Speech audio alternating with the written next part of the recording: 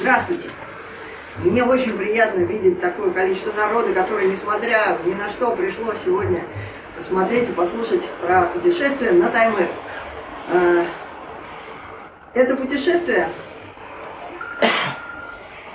было, ну, как и любое путешествие, в общем, оно начинается с какой-то мечты, с каких-то с каких-то книг, фильмов. На мыс Челюскин мне хотелось попасть давно. Это как, это же самая крайняя точка э, нашей страны, самая, самая северная точка Евразии, такое знаковое место. И после того, как я побывала на мысе Челюскина, ой, господи, я заговариваюсь, на мысе Вижнева, на самой восточной точке России, на Чукотке, мне захотелось теперь уже осуществить э, свою давнюю мечту, дойти до мыса Челюскин. На самом деле папочка с э, картами, с какими-то там заметками. Я же изучала уже этот вопрос, э, читала какие-то отчеты, кто как ходил, как вот достичь э, мыса Челюскин. Э, тундра, открытая голая тундра, где нет, вообще нет деревьев, леса и, и нет кустов даже, чтобы развести костер. То есть по сравнению с Чукоткой это более такое ну, более суровое место, я так предполагала вначале, но на самом деле она оказалась еще более суровее, чем я предполагала. Значит, оно еще отличалось от предыдущих моих путешествий тем, что во всех путешествиях, где я была, и в одиночку ходила, я всегда подспудно надеялась э, на встречу с местными жителями. Здесь, на Таймыре, местных жителей не ожидалось. Меня уже предупредили, я связывалась э, с э, хатанскими жителями Таймыра. Хатанга – это э, ну, крупный населенный пункт, э, куда прилетают самолеты из Норильска и Красноярска, и такой, можно сказать, район, нельзя сказать районный центр Таймыра, но это такое крупное место, откуда можно было начинать маршрут. Вот. И местный ветеринар, с которым я ну, заочно познакомилась, он мне сказал, зачем вы туда идете? Там смерть, смерть, там смерть. Он вот так вот говорил реально. И э, он сам летал на вертолетах бригады Мганасанов, которые там Долганы и Мганасане на Таймыре местные жители пасут оленей. Но сейчас, как он мне сказал, севернее, севернее реки Хатанги, вот река Хатанга, никто не кочует. Вернее, кочует только одна, одна семья. И то она где-то вот тут недалеко. А мне надо идти вон на, на самый мыс Челюскин. В общем, я поняла, что встреч с не будет, и э, надо по максимуму запасаться продовольствием. То есть, если я до этого, ну, как ты думала, встретишь людей, всегда там э, ну, садят с какими-то продуктами, с мясом, то здесь такого не ожидалось. Вот. Но в этот раз у меня в путешествии был э, спутниковый навигатор спутниковый трекер, вернее, первый раз в жизни, э, то есть если до этого я всегда ходила без средств связи, то есть в этот раз у меня был вот такой спутниковый трекер, и я с ним идти тоже очень боялась, потому что я немножко суеверная, во-первых, и как бы, когда ты идешь без всего, тебе помогает что-то высшее. А когда ты идешь с, так, с такой, э, ну как бы, ну, какой-то электронной штучкой, скажем так, а вдруг она где-то не сработает. Вдруг... Я вообще не умею с такими приборами так хорошо общаться. И вдруг э, как бы все будут ждать от меня какой-то там смс, а у меня что-то там, или батарейка сядет, или что-то сломается, и, и что делать? Так как бы обычно я оставляю карту с э, ниткой маршрута, и когда уже выхожу, ну, как бы есть всегда контрольное время выхода в конечную точку ну пусть она там через полтора месяца от старта, там через два, но все равно потом как бы вот за тобой в случае чего будут тебя искать. А тут, значит, я договорились, договорились, буду выходить на, сва- на связь два раза в неделю, то есть буду отправлять смс -ки. Какие это смс -ки? Мне а, загрузили три смс которые можно отправлять всегда. Это на маршруте все в порядке, отклонилась от маршрута, но все в порядке, и третье, заберите меня отсюда. Вот три смс, которые можно было подавать. Ну, скажу сразу, что только первая у меня была все это время. Вот. Но э, там можно было еще э, ввести э, отдельно смс и их там уже по каким-то специ... ну, гораздо сложнее, можно было бы посылать. Там, у меня закончились продукты. Ну, мне казалось, что это глупые смс зачем это посылать. Ну, тем не менее, ввели еще 10, 10 смс там проблем со здоровьем. Вот. Но, тем не менее, вот я взяла этот трекер. И еще чем, значит, э, опасен, опасно путешествие через Таймыр – ну, вообще по побережью Арктики опас, опасно, опасность – это встреча с белыми медведями.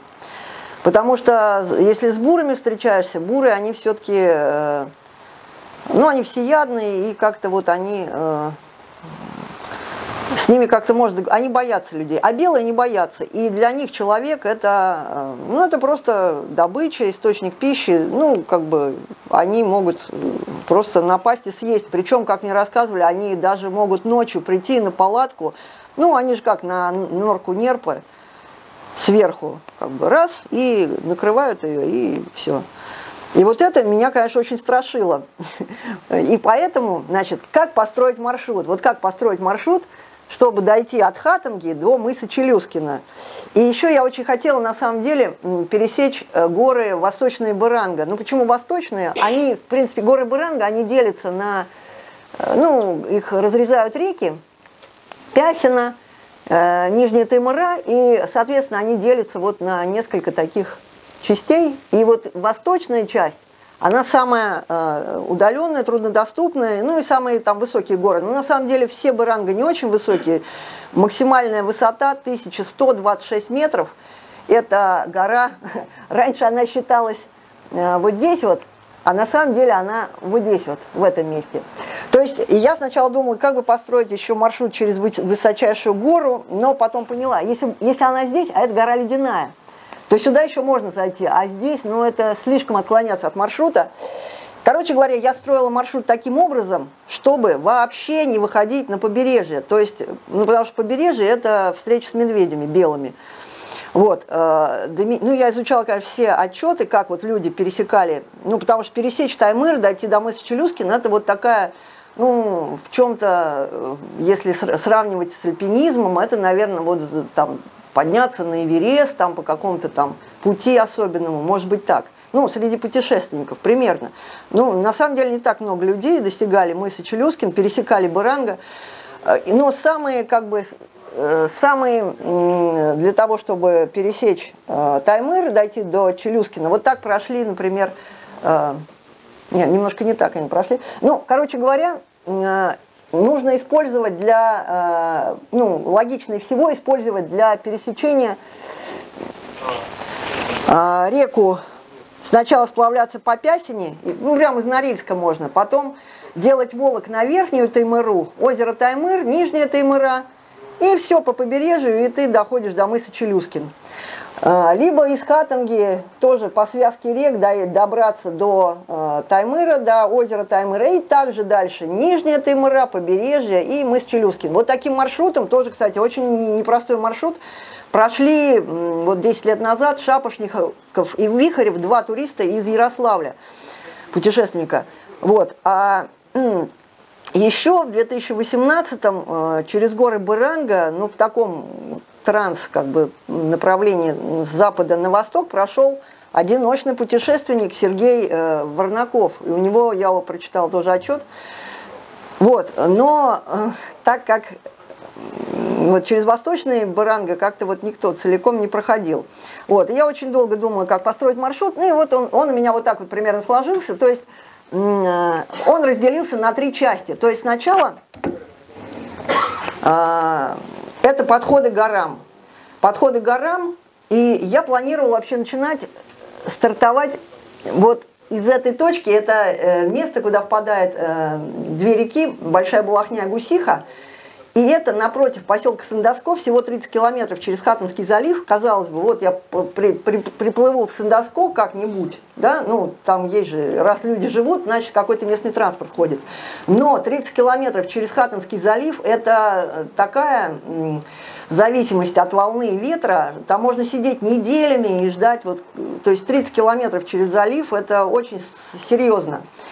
И в результате я решила Короче говоря, я договорилась с э, человеком, ну вот через этого ветеринара, который в Хаттинге, договорилась с человеком, и он мне сказал, тебе надо, он так поговорил, ладно, я тебя довезу до устья Гусихи на моторке. И я так обрался, у меня просто от сердца отлегло, я подумал, ну все, я начинаю старт, старт у меня уже просто Хаттинская, Хаттинский залив вообще исключается. Я очень люблю открытую акваторию, это еще одна из трудностей путешествия, ну не трудностей, а опасностей, потому что мало того, что открытая акватория на маленькой лодке, я сначала вообще думала брать большую лодку и маленькую, то есть начинать на большой лодке, байдарке, потому что против течения и по волнам идти на каркасной лодке, которая не, э, не, за, ну, не то, что не зависит, она противостоит ветру, на ней можно со скоростью идти против течения, против волны, потому что на надув... у меня надувной каяк, да, и на нем против ветра и волны просто не пойдешь вообще. И он маленький, ну, пока каяк колчи мой, который уже несколько путешествий у меня было на нем. Он такой был проверенный, надежный, хоть он был чуть старенький, я все-таки решила взять его, потому что он надежный. Ну и вот, и когда мне сказали, что ну, мы тебя подбросим до устья э, этой самой э, гусихи, я даже карту распечатала прям только от устья Гусихи. Это был такой ошибкой было. На самом деле, просто э, я на самом деле не успеваю. Я знаю, у меня бывает много недочетов, но невозможно все предусмотреть, особенно когда ну, у меня же еще всякие другие путешествия. Меня многие как бы ругают, ну что ж там, вот то не сделал, все не сделал. Ну вот не успела. А потом, ну, какой-то элемент всегда должен быть, ну не то, что всегда должен быть, но если есть элемент неожиданности в путешествии, он придает путешествию, ну, какую-то там изюминку. Хотя, конечно, это не очень хорошо. Ну вот, и я прилетела в Хаттингу. А, ну да, вот эта первая часть путешествия, это э, с устья Гусихи Большой Балахни до гор. Ну, вот это как бы первая треть путешествия.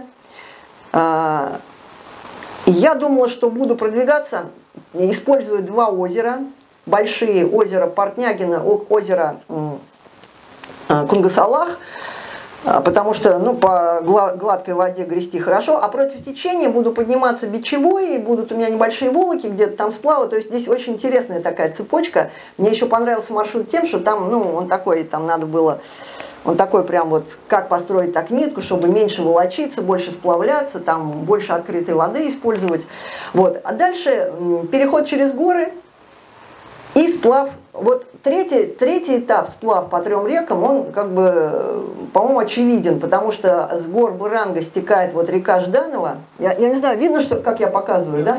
Вот река Жданова, от нее делается волок на речку Гольцовую, опять сплав – от нее делается волок на речку Серебрянка, опять сплав. И тут остается, ну, километров 20, и можно не подходить, как бы, к, не подходить э, к побережью, и все, ты на мысе Челюскин. Осталось понять, как пересечь горы Буранга. Здесь я тоже там поломала голову. Ну, конечно, надо использовать долины, рек, это понятно. И там я, в общем, составила такую нитку, маршруты, причем у меня в середине даже намечался сплав по речке Марик-Татари.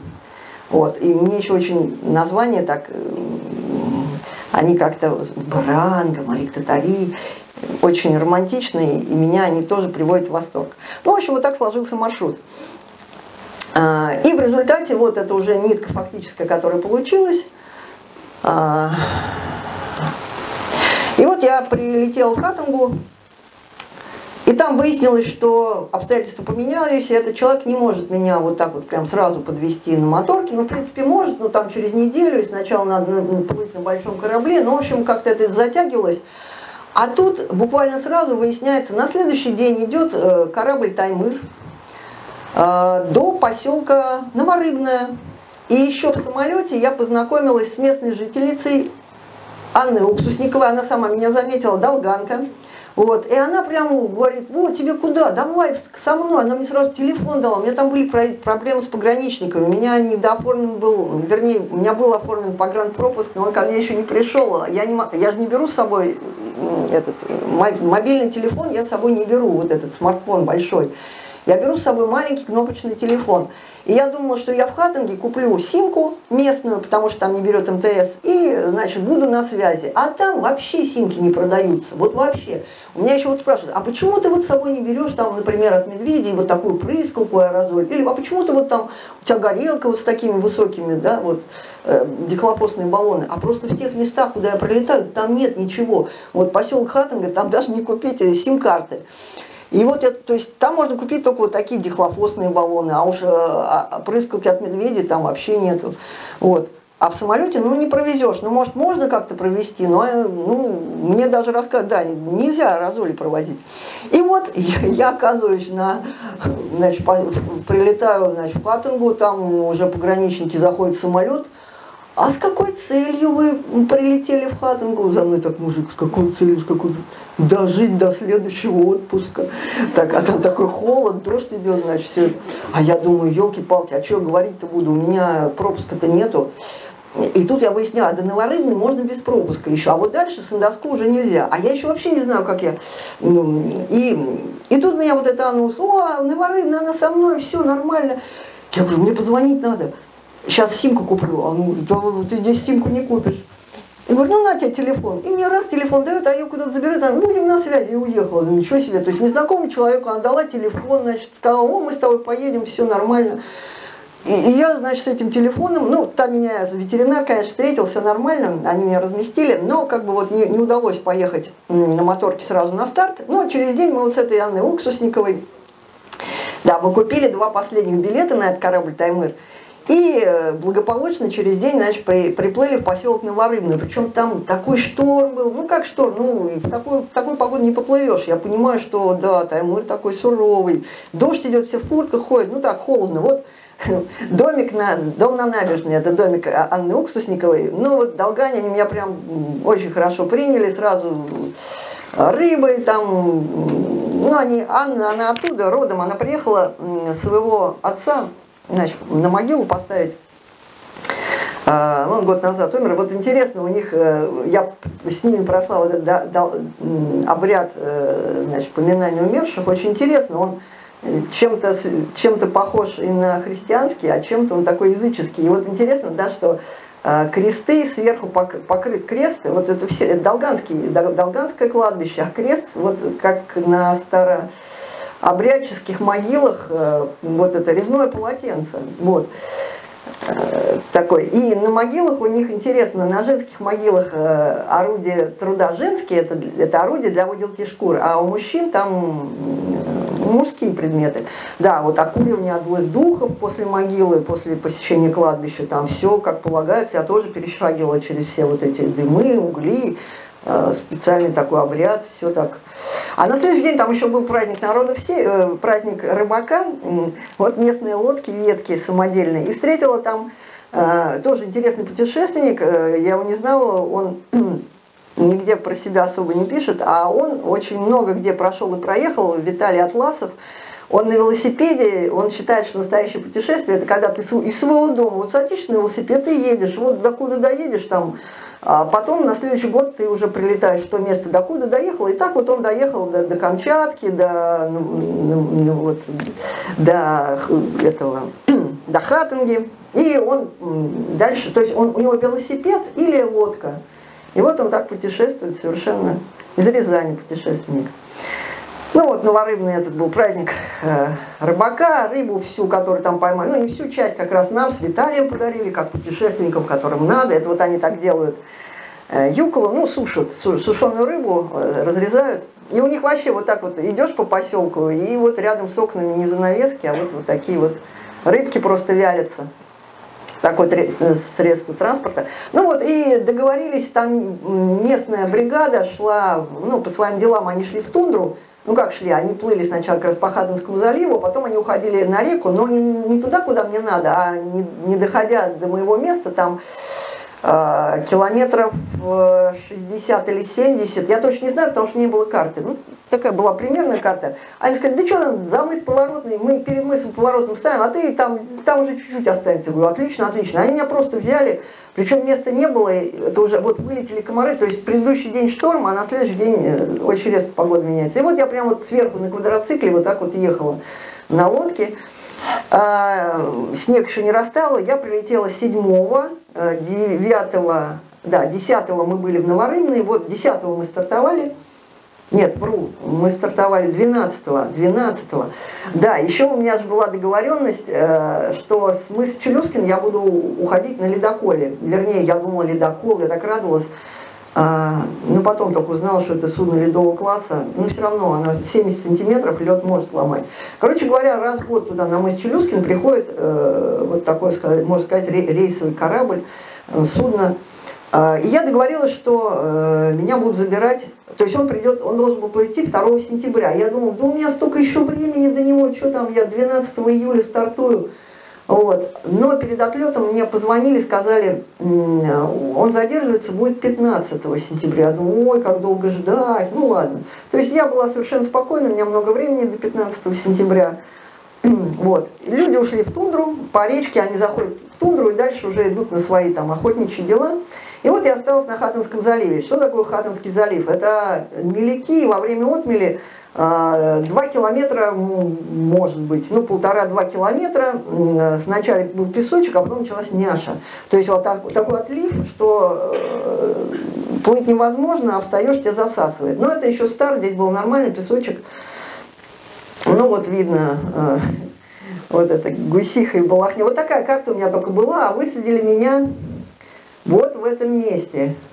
И сказали, ну что, километров 25, а здесь было 60, ну 50 ну, минимум, 50, а ну я примерно это расстояние оцениваю, и я думаю, ну что там 25, я прямо сейчас доплыву, не торопясь, да, вот это дров на Таймыре нету. Есть только плавник на побережье вот как раз Хаттенского залива. Я еще думала, что дальше будет э, плавник. У меня был выход в конце, внизу Гольцовой на залив Тереза Клавенец, море Лаптевых, я думала, о, там еще будет плавник. Но там плавника не было. Вот. И здесь был плавник. Вначале, ну, как бы он был, можно было, вот я костер развожу, и вообще тепло, и все хорошо, и никакого вируса. Вот. И э, отлив, ну, был ничего. В отлив пешочком, потом гребла. И вот интересно, что эта карликовая ива, и она ниже, чем э, травы, чем растения такие цветочные. Вот, то есть вот это мак, и он вот два раза выше, чем полярный мак, два раза выше, чем э, деревья ивы. Ну, кустарник, конечно, не деревья, так утрированно. И вот плоскотень, и вдали, вдали виднеется вот два, это я на, на таком большом приближении, вот просто плоскотень, и вдали два холмика. Это гора Большая Булахня, это э, в районе озера э, озеро Сопочного, это мне по прямой еще там километров э, сотня, даже чуть больше, ну вот это уже такая цель, которая появилась, манит, а когда есть цель, сразу хорошо. А по берегам, ну вот только встречаются такие тригопункты, это они такие, как бы, ну, отслеживаешь, ну, какие-то вехи на пути. Триангуляционный пункт, это еще когда карту рисовали, ставили. Вот так выглядит Хаттонский залив. Э, в отлив, но здесь еще он близко. Сначала у меня, был, у меня было много сухарей, так как у меня первая часть путешествия, значит, я должна была грести и делать небольшие волоки между водоразделами, я решила, что эти волоки я могу делать две ходки, Соответственно, потому что в одну все равно не получится тяжело. Соответственно, на первую часть путешествия можно побольше взять продуктов. И я взяла много сухарей. И у меня вот даже они помещались Э, как бы так нормально, и я, ну, пришлось даже один гермомешок сначала, в ногах вот так лежал, немножко мешался, но скоро это закончилось. Вот в километре от берега, может быть, миль, то есть я вот так плыву и дно э, чувствую, чувствую веслом.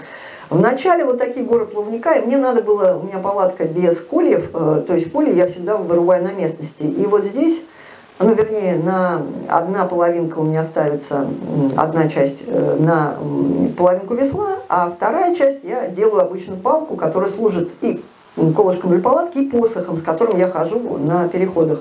И вот здесь мне кажется так много, я так долго искала палку, чтобы она удовлетворяла моим требованиям, чтобы она была более-менее прямая и надежная. Ну, нашла, конечно. И еще одну палку я нашла такую чуть кривоватую, очень удобная, как штатив, как есть котелок подвесить, а потом она мне еще одну функцию служила – отбиваться от хищных зверей. Даже не знала, что так будет. Вот. Э, ну, вот это мой э, каяк колчем надувной, 3 метра 20 сантиметров. Ой, что я говорю, 3 метра он длиной, он весит 3 килограмма 200 граммов. Вот. И достаточно против волны, ну, в смысле, вот его такие обводы мне нравятся. А вот моя палатка. И вот вначале был вот этот плавник, да, еще я колышки тоже сделала из деревяшек. Ну, у меня были основные колышки, как бы вот на э, уголки а, палатки, а остальное я заготовила вот здесь. И больше дальше нигде не было дров. Вот такая няша, туда нога проваливается, когда отлив, какая-то дресва, там, взвесь, тина. Ну, вот такой берег не очень, конечно. А это вот дальше я плыву по... И, ну что, один день не успела, ну на следующий день точно доплыву. И тут началось, это просто ужас. Значит, когда пошел отжимной ветер, ну с берега пошел, и резко начинается отлив. Я тогда еще сначала не сразу разобрала, когда там прилив-отлив, вот это вот все, ну, не уследила. И вот я там в двух километрах от берега, и ну, страшно, на самом деле, э, надо идти очень далеко от берега, чтобы идти, куда тебе нужно, а, а я еще не знаю, куда мне нужно, то есть, мне кажется, близко, вот, я все время, я все время смотрела влево, ну, на берег и искала устье реки, а когда плоскость, это устье очень трудно увидеть. И когда ты в полутора-двух километрах от берега, еще ветер, и не знаешь, куда идти. Я думаю, нет, ну я еще не дошла. И когда первый раз вот этот отлив пошел, это просто ужас такой. Вода просто как фильм ужаса, и убегает. И я хватаю каяк, я понимаю, что если я сейчас вот останусь, на 12 часов вот тут остаться, не весело до следующего, до отлива, прилива, то есть. И я схватила каяк и побежала к воде, туда, где много воды. Я бегу, значит, изо всех сил тащу каяк, не жалею дно, ну, какой там уже одни не думаешь, ну, а, еще вещей-то много было, ну, еды много было. То есть у меня, наверное, на старте было порядка 40 плюс, то есть ну 43, может 45, ну все, все вместе. То есть у меня снаряжение 20 продуктов. У меня было отдельно продукты, которые я, э, ну, неприкосновенный запас вот в одном мешке. Кстати, его здесь нету. А, он, он остался с лодкой, конечно. То есть я в одну ходку снаряжение и продукты для первой части путешествия, а на вторую ходку у меня лодка, и она приперта вот этим мешком, который у меня на, в котором неприкосновенно лежит запас продовольствия на вторую третью часть путешествия. То есть мне главное дойти до гор, там я уже как бы кидаю все лишнее и уже иду в одну ходку. А пока я иду до гор, я вроде бы как я это, отдыхаю, у меня сколько угодно продуктов, но этот отдых мне с этими продуктами сразу стал не в радость, потому что мне пришлось, значит, сначала, да, я убежала от воды, отступающей, убежала туда, ну, Мористия, и а Мористия гребешь, а так страшно, потому что волна высокая, но там все равно мелко. И вот все время приходится балансировать, как бы не сесть на мель и не быть, значит, залитой этими волнами, плюс ветер отжимной, и все время туда смотришь, а там волна, и тебя да, сейчас туда унесет, и что будет. Ужасно. В общем, и в какой-то момент мне просто стало страшно.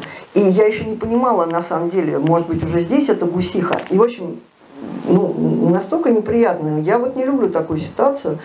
В общем, я плюнула на все и уже к берегу побежала. И в две ходки мне пришлось вот километра полтора тащиться до берега. Сначала в одну ходку, в другую. И когда я вышла на берег, и я не понимаю, где я вообще нахожусь, и вот тут у меня закладывалось подозрение, а вдруг вот в этой бесовой штучке есть что-то такое, что поможет мне определиться. Но я не смогла. Значит, даже если у меня там были какие-то координаты, у меня э, не было все равно сетки на карте. Ну, в общем, я думаю, что делать, что делать, подать смс-ку Нина где я, Нина, это моя подруга, ориентировщица, она поймет, она была на связи. Думаю, нет, нет, нет, нельзя, нельзя, ладно, начало пути, я уже не знаю, где нахожусь, вообще глупо, конечно. Ну ладно, думаю, сейчас определюсь. Ну, пошла, конечно, стала определяться. А, но на самом деле, а, это вот я еще, вот, устье Гусихи, вот у меня, это я думаю, когда же я войду в карту-то наконец, а здесь только проток, а мне еще что-то местные сказали, а там еще будет сначала ледоушка, вот, вот эта ледоушка, а эту карту я у Атласова перерисовала, как же я потом пожалела, что я Ксерекс не сделала, а ведь был в поселке. То есть мне можно было уходить по первой протоке, и вот я нахожу протоку и думаю, а вдруг это она, и я, в общем, там по тундре по этой ходила. Но, в общем, все это было не оно, протоки уходили не туда. И, в общем, короче говоря, я добиралась вот до этого устья Гусихи 5 дней. 5 дней, можете себе представить, 50 километров. Ну, из, из этих 5 дней, 2 дня я пережидала непогоду, там, конечно, Вот первый день, да, такое солнышко, там все как хорошо, и второй день вроде ничего, а третий день как подуло. Вот, и я, общем, сидела в палатке, и причем э, там палатку особо не приводишь, камней это нету, и ветер его поднимает, пола у меня нету, ну, есть обшлага, я там каким-то плавником-то ее привалила, а все равно ее вот такие отливы, что делать? Дойду ли я домой с Члюски, ну, в общем. Но еще вначале там клизматизации, спать хочется, то спишь, то не спишь. А, и все время, да, и там получилось, что этот прилив-отлив, он ну, то есть большой прилив, он вечером идет где-то в 11 вечера. Вот, и я, значит, смотрю, прилив, это, прилив идет, ну, волна такая, не, не пойду, ну, ладно, сплю там. На следующий день, на следующий день я пошла, думаю, ну, сейчас я уж точно дойду. Ничего подобного. Значит, и на следующий день я тоже не дошла. А, э, потом, потом, ну, это я, потом я попала в ливень, такой, что, э, ну, просто, короче говоря, я побоялась, я даже карту не могла, у меня карты все, ну, бумажные, бумажные карты, они у меня в пакетах полиэтиленовых. Ну, я люблю так просто пользоваться. Если их ламинировать, они такие становятся жесткие, режут другие вещи этим ламинатом. Но неважно, короче говоря, я вот там пока у меня была непогода, я подумала, елки-палки, у меня, у меня вообще был дубль карты, а вот одной карты, где вот волоки такие, у меня не было дубляжа, и я думаю, дай-ка я это, нарисую на всякий случай шпаргалочку себе. Если замокнет там одна карта, то у меня будет рисованная. Но все нормально, не замокла.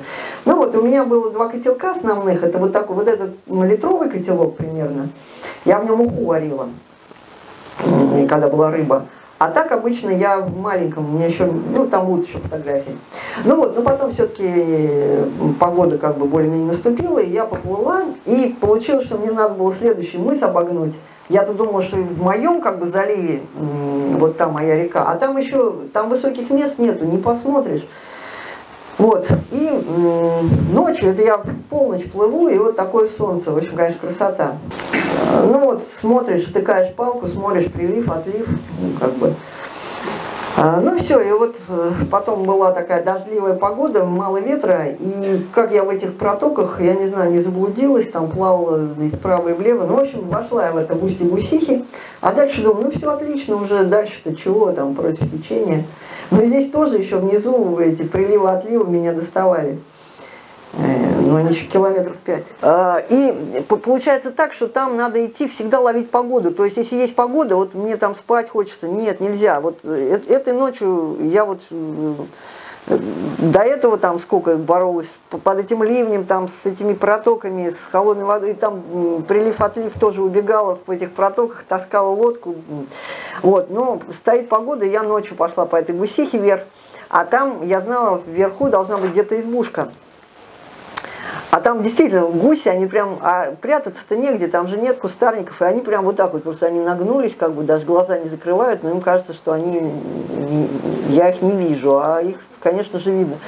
Потом смотрю, о, что это за копны сена, стаги какие-то, а потом смотрю, да это же эти овцебыки. И вот я когда их увидела, это, это ночью, вот когда я уже вот это гусь, я подумала, да даже ради этих овцебыков уже стоило сюда прийти, что вот, то есть мне таймер как бы сделал такой подарок, то есть пять, пять дней меня мурыжил вот в этой непогоде, в этих приливах. Я там по няше приходилось идти, я как-то два, э, ну то есть мне можно было плыть часа два всего, потому что только на пике прилива можно было плыть. А как он начинается отлив, сразу, вот как, как Золушка в 12 часов ночи сейчас вот в тыкву превратится, я также, значит, бросаю ой-ой-ой, так страшно, потому что э, ноги засасывает, и мне приходилось к берегу, вот я опираясь только на лодку, могла дойти, выйти вообще на берег, и все вот это засасывает. Уже, это, конечно, я там ничего не снимала. Ну вот, и тут такая, такое счастье, и на фоне гор, вот эти овцебыки, целое стадо, овцебычатки, ну, красота. Вот, и тут еще изба вообще, ну, ну, это была изба, как, конечно, балок, э, тепло было, солнце, и ну, я просто в ней остановилась, ну, потому что время, и почему бы нет, ну, так, для экзотики. Хотя в, этой ночью спокойно можно было, конечно, спать на улице, ну, хотя вот э, ночью плюс 3, э, а днем было 17. Но когда вот я выплывала из Хадинги, тоже было где-то плюс 5, наверное. Ну, то есть там такая, ниже 10 все-таки температура. Но временами вот эта куропатчая травка цветет, дриада, вот лето в полном разгаре. И я подумал, ну все, вот эта непогода ставил, сейчас начнется погода. Как бы так, как бы не так. И вот на Чукотке там обычно, ну не погода, а потом неделя погода стоит. А здесь вот как на Таймыре было не так. То есть не погода, не погода, не погода, потом лучше на денек, а потом опять непогода, а после непогоды, непогоды может быть еще хуже непогода. То есть не то, что там вот погода, непогода, погода, ничего подобного. То есть там ужас какой-то. У меня было, я потом посчитала, у меня было 11 дней непогоды, которые я просто пережидала, а еще было несколько дней, когда мне просто в непогоду приходилось идти, потому что ну, выхода не было. Ну, на самом деле говорили, что лето холодное было в этом году, ну тоже как повезет. Ну вот, и в общем, по Гусихе можно было, в принципе, подниматься, но она тут такие петли делает, и подниматься в озеро Портнягина прямо по Гусихе. Но я не люблю по широким рекам, и я решила, буду подниматься по реке Поперечной, она как бы срезает, а потом мне еще сказали, о, да ты на Сопочном, там обязательно людей встретишь, там наверняка стоят, мне вот эти местные сказали. И я думаю, ну еще вот так через Сопочное, а здесь вот уже, а вот сюда выйду и сплавлюсь до Портнягина. То есть пойду бичевой по маленькой речке. Ну вот эта река Гусиха, а, вот такие там вокруг либо протоки, либо озера, тундра. И интересные вот эти бугры вспучивания, вот проявление вечной мерзлоты, такие необычные. И э, вся земля там такая неровная, бугристая, растресканная, очень э, трудно находить хорошее место для стоянки. Это кулик, этот краснозобик. Вот там две птицы, которые э, они скрашивают и, и поют.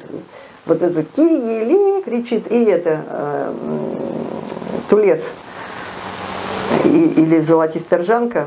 Ну, то есть вот два кулика, которые там кричат все время и чувствуешь, что ты не один. Ну гуси, конечно, гусей очень много.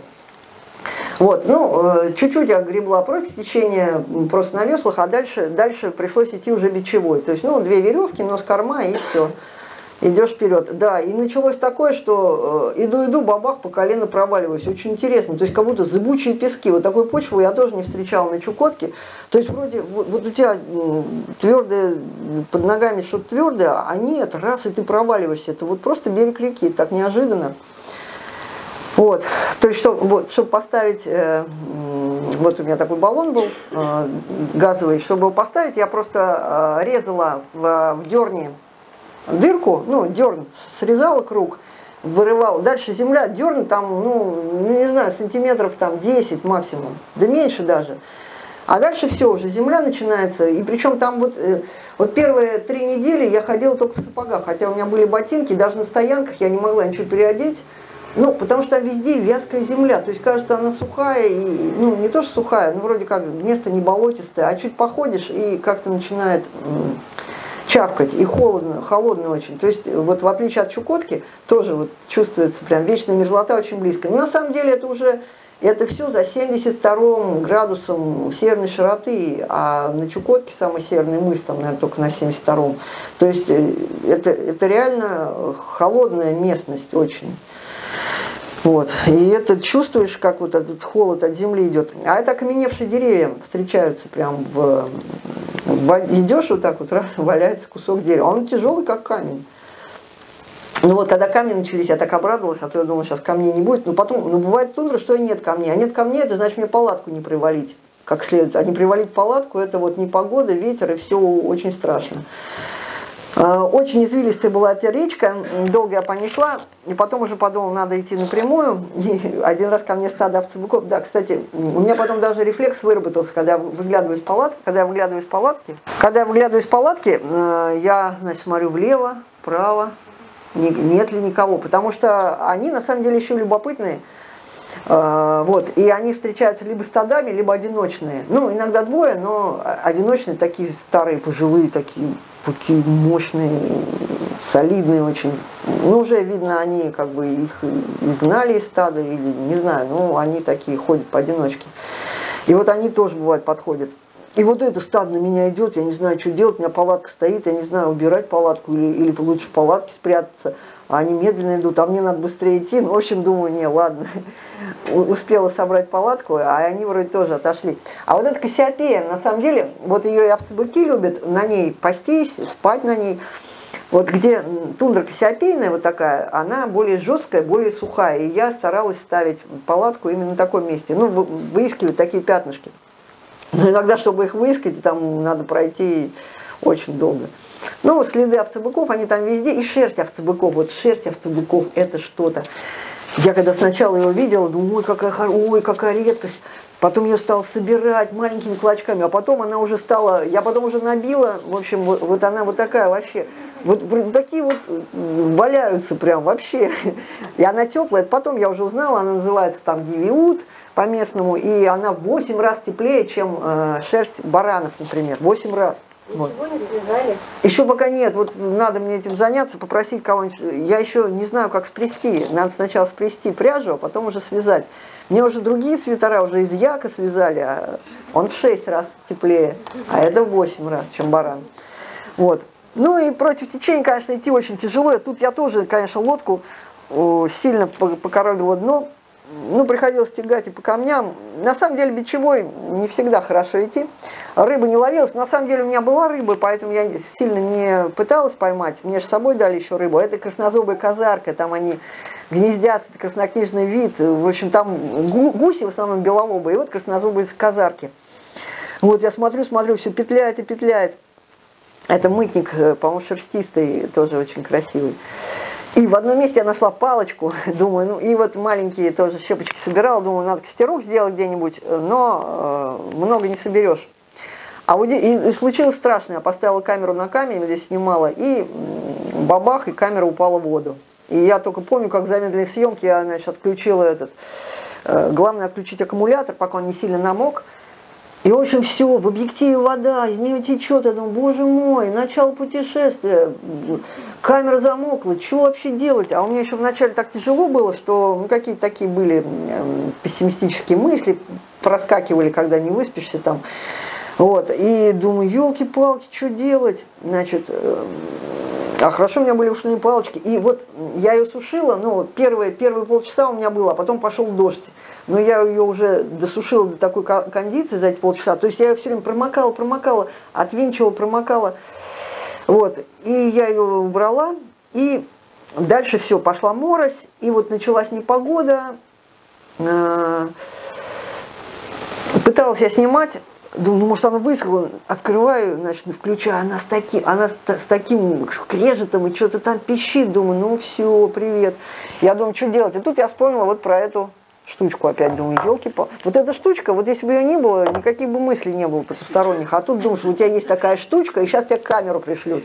А мне же вот, я вспоминаю, мне ребята вот эти, мне подарили авиатор, они говорят, ну, там, напиши, если продуктов не будет. У нас есть там свои ребята, мы тебе продукты сбросим. Ну, там, в конце где-то там. Ну, то есть так сказали, я про это забыла. А потом думаю, а, да не нужно мне продуктов. Может, они мне сбросят эту камеру. Как же им сказать? Как же им... А как, ну, как сказать? А я же еще не умела на нее писать никак. В общем, думаю, так, нет, ну просто так сюда лететь, нет, надо найти бивень мамонта. За бивнем мамонта уже можно, чтобы прилетели, потому что и я вот все вот эти береговые обрывы обсматриваю, вдруг там будет бивень мамонта. Ну да, он мне не нужен, но как бы авиаторов пригласить не просто мне камеру привезти, ну и чтобы бивень вам, вот. Но бивня не было, вот. Ну, думаю, ладно. И тут начались волоки. Все, я решила, все, хватит, хватит. Я уже, у меня спина болит. На самом деле, мне еще говорят, что ты на лодке не спала? Ну, поспите на лодке. Я не знаю, я, я, я не могу в таком гамаке, например, спать. Это, во-первых. Во-вторых, она мокрая, она в ней, ну, не знаю, насколько в ней удобнее спать. Мне все-таки легче спать на земле, на коврике, чем в лодке. Э, как в гамаке неуютно, и если втащить под тент, там ну, и вещи особо не разложишь. Ну, в общем, не нравится мне на, на палатке спать. Ой, на... А там еще на таймыре ничего не сохнет. Вроде есть ветер, а все равно не сохнет. Там какой-то влажный воздух. То есть у меня, ну, там вкладыши сапоги, они все время были влажные, как бы к этому привыкаешь. Но главное коврик, и он тоже не сохнет. У меня, я еще старый, ну, это ладно. Э, протираешь портянкой вроде, на Чукотке протер портянкой, выставил, выставил на ветер, и все, она быстренько высыхает. Здесь ничего не высыхает. Ну, как, какая-то вот такая влажность.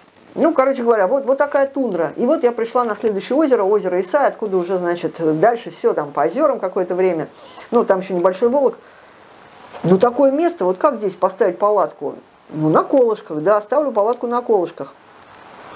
А, чем еще хороша моя палатка? Ну, в смысле, у меня тент, а туда внутрь я ставлю палатку, если э, комары. Или если холодно, и тебе поуютнее надо, у меня маленькая палаточка, которая там 250 граммов весит, капроновая. А тент вот такой, э, можно сначала, я вот сначала нахожу место, все вещи могу положить, но если, конечно, погода хорошая. То есть я сразу же смотрю, чтобы мне там удобно было спать, чтобы никаких там под этим, под плечом никаких бугров не было.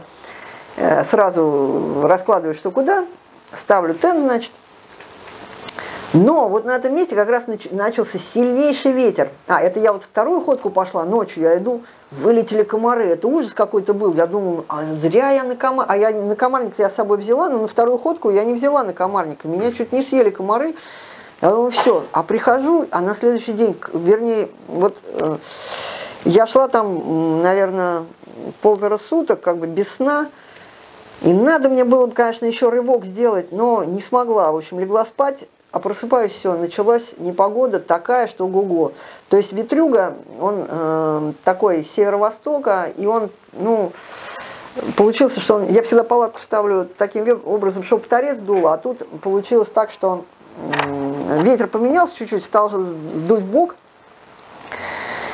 и кажется, ее снесет, и ничем не привалить, потому что камней нету. И, в общем, вот два дня непогоды, что я пережидала, я, в общем, это такие, ну, кого-то канонада все время грохочет, вот это вот хлопает тент, потому что он все равно, ну, сильно, не, ну, его трудно натянуть на малом количестве колышков, как бы, были бы камни, я бы хорошо растянула. И вот там я еще очень боялась за тент, то есть как бы мысли о... Да, я на самом деле смогла дать смс замочила камеру. Как я ее давала, эту смс это, это для меня было таким подвигом, потому что я вообще очень э, ну, плохо с электронными вещами разбираюсь, а тут я смогла разобраться сама и дала смс замочила камеру. И когда я ее послала, я была так горда собой и подумала, если я такую смс послала, то мои друзья поймут, случилось что-то сверхъестественное. Замочила камеру, значит, обязательно надо мне камеру как-то, значит. Я подумала, я вот эти два слова написала, и Нина все скалькулирует и все поймет. И жду, когда же ответ, а ответа нету, и нету, и нету. Думаю, ну ладно, наверное, они не могут послать мне камеру. Или, а, нет, я подумала, что я что-то неправильно сделала. Вот что я подумала. Потому что мне смс приходят, и еще мне там говорят, ой, жалко, что ты не можешь ответить. А я же вроде ответила, а ничего не приходит. Думаю, ну, наверное, там, то ли я что-то не то заплатила, то ли я не как-то не, не туда, не на ту кнопку нажимаю. И тут я расслабилась, поняла, отлично, значит, я ничего не могу посылать, а могу только посылать на маршруте все в порядке, или там заберите меня отсюда. И на этом, значит, я плюнула и забыла о нем недели на три или на четыре. Я немножко вперед забегу, но вот, наверное, месяц прошел, я уже там где-то в горах это. И так мне говорит, а, кстати, как там у тебя камера? Я говорю, это уже прошел больше месяца, и мне приходит такая смс, я думаю, боже мой. То есть они знали, что я замочила камеру, а, а никак не среагировали, а через месяц, ну, так между делом спрашивают, а, кстати, и, кстати, а не собираешься ли ты подняться на гору ледяную, тут, значит, читатели типа спрашивают, писатели, то есть эти зрители спрашивают, ну, в общем, ужас какой-то. А я была в таком там состоянии, какая там гора ледяная, я еще подумала, вы бы вообще, я до этого на гору русскую зашла, и там никто вообще не среагировал. А тут им еще подавали ледяной, вообще, думаю, обалдели. Ну, в общем, короче говоря, вот эти два дня непогоды, когда я просто дрожала от страха, потому что у меня тент был новый на самом деле, и еще был непроверенный. Поэтому я боялся, что его порвет. Но его не порвало. И, в общем, после этой непогоды я не спала, потому что это ужас какой-то. А еще давление такое, кстати, там такое давление страшное. Я вот не, ну, я, может быть, уже стала давление зависимое, но там это что-то ужасное. Это тебя просто придавливает, ты ничего не можешь делать. Э, какой-то совершенно, как будто тебя подушкой вот так вот по голове поколотили очень сильно. Невозможно ничего делать. А потом, а потом вот получше становится. Ну, короче говоря, приходилось все время накрыто сидеть, ну, лежать и во всех спальниках, и ничего вообще нельзя было делать. Но потом непогода прошла, а камеру-то я подспудно сушила в носке, еще в чем-то. То есть она у меня все время сушилась, я ее там протирала, и она заработала. И это было такое счастье. И, в общем, меня сразу... Я, кстати, еще когда она не просохла, я все равно... У меня вот стоял такой выбор, идти дальше или нет. То есть, в принципе, я могла там э, повернуть. Ну, я уже себе думала, да я дойду до озера Портнягина, там, ну, встречу людей, там, а дальше сплавлюсь по Гусихе обратно, типа, и все, не надо идти, что там, без камеры. А потом я, когда все-таки уже сюда дошла, думаю, ну уж нет, что же я столько там мучилась на этом, зря я что ли там погибала на этом Хаттонском заливе, в этих приливах, отливах. Не, я все равно пойду на мысе Челюскина. И когда вот я такое решение приняла, камера сразу высохла. То есть, ну я честно скажу, то есть я для себя так честно, потому что я все-таки сначала приняла решение, что я пойду, и только потом она высохла. Вот так вот. Ну, а дальше все просто, вот озеро Исай. А, а, кстати, тут надо было привезти полтора километра на другой берег. Ну, в принципе, можно было плыть вдоль береговой линии, но и напрямую проще. На самом деле мне что-то так страшно было, стало страшно посреди озера. Э, но вот какие-то страхи такие приходят. Но когда я его перегребла, и уже в конце, знаете, когда страшно, я начинаю считать просто, вот я думаю, ну, за 400 догребу. Там просчитаешь 400, а берег еще не, не подошел. Ну, когда я догребла, вот у меня была такая вот эта полоска на горизонте белая, вот и догребу, все. И дальше у меня по маршруту, мне больше нигде, нигде не надо перегребать большую акваторию, только по речкам. Я была счастлива, наивная, если бы я знала, какие мне там еще надо будет перегребать в результате. Но неважно, тогда я очень радовалась. Километр Волока, и я на следующем озере, озеро Сопочное, штиль, грибу, ночью, красота – но я боюсь медведей, потому что мне говорили, да мы встречали и на озере Орлах, и вот на всех вот этих центральных озерах, ну просто там туда вот эти охотники, э, поискови, ну они там бивни, мамонты ищут, бывают там люди, и поэтому там они встречают медведей белых, они туда выходят иногда. Ну, я, конечно, их боялась, и поэтому любое белое, что я встречала, и вот я издалека вижу, а ну там же непонятно, белый медведь спит, елки-палки, там бинокль рассматриваю, потом, да нет, ну маленький, потом, нет, вот удостоверилась, нет, это кусочек шкуры оленя, все нормально, Марина, и там плыви дальше. Балки, да, вот там будут люди, никого там не было, но там такой сюр, значит, в тумане идешь, ну, конечно, это так интересно. Ну, не то, что интересно, но я не знаю, там в какое-то такое состояние загадочное входишь. Очень как-то приятно становится. Не знаю, почему, как природа поддерживает. Но вот в эти заходишь в избушки, оттуда птицы на тебя вылетают, как какие-то вот духи живые, что-то такое. Вот я зашла, эти балки посмотрела, думаю, ну вот, вот если бы я знала, что здесь балки, и дошла бы в непогоду бы здесь сидела, а потом думаю, ну хорошо, что я была в непогоде в палатке, так я палатку как бы узнала, что она нормальная. А вот, кстати, как можно подзарядить аккумулятор, а то все спрашивают, э, когда, не, ну сейчас движок не работает, но если ты людей встречаешь где-нибудь в тундре, у них наверняка есть движок, и то есть я беру с собой 10 запасных аккумуляторов и зарядку для аккумулятора от электрической розетки. И, а то есть как ты гаджеты подзаряжаешь? А мне так не нравится это слово гаджеты. У меня их нет, этих гаджетов. Ну, правда, сейчас вот этот появился, но, кстати, э, хватило аккумулятора, он еще остался, ну, потому что я редко очень выходила на связь. То есть э, у меня просто, ну, много запасных аккумуляторов. Да, все время сюда смотрю, лучше бы я на вас смотрела. Как-то вот...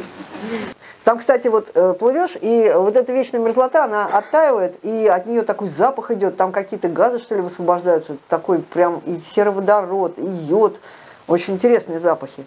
А вы узнали, что такое белый? Вот, Нет, не узнала. Это надо анализ проводить. Я у геологов спрашивала, но они так вот по картинкам они не могли определить. Холодно, я даже вот сено подстилаю. Ну, в общем, использую все подручные материалы. А тут на берегу сена вымывала. Обычно плавник, а там кустов нет, только...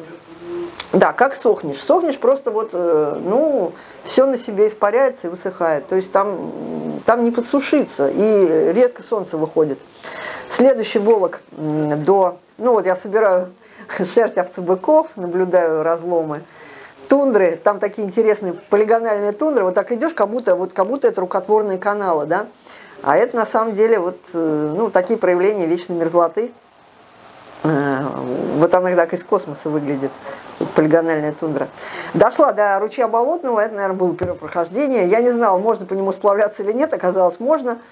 Вот, первую ходку я пришла, всегда выбираю так место, чтобы можно было палатку ставить, вот здесь вот, здесь Ковер ивы – это вообще редкость. Вернулась, э, вроде только что была хорошая погода, ну вот это я сутки иду, не, не спя как бы.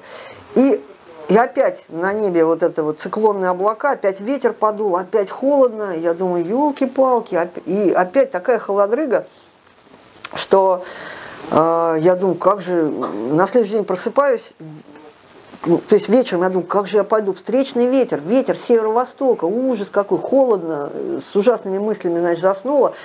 Вечером смс посылала, помню, рука тряслась от холода и страха. Я вот так, э, надо высовывать ее из палатки, из тента, потому что ему, ему нужно, чтобы открытое небо было. И утром просыпаюсь, а ветер на 180 поменялся. Ну, фантастика, думаю, мне попутный, ну, надо плыть. Плыву.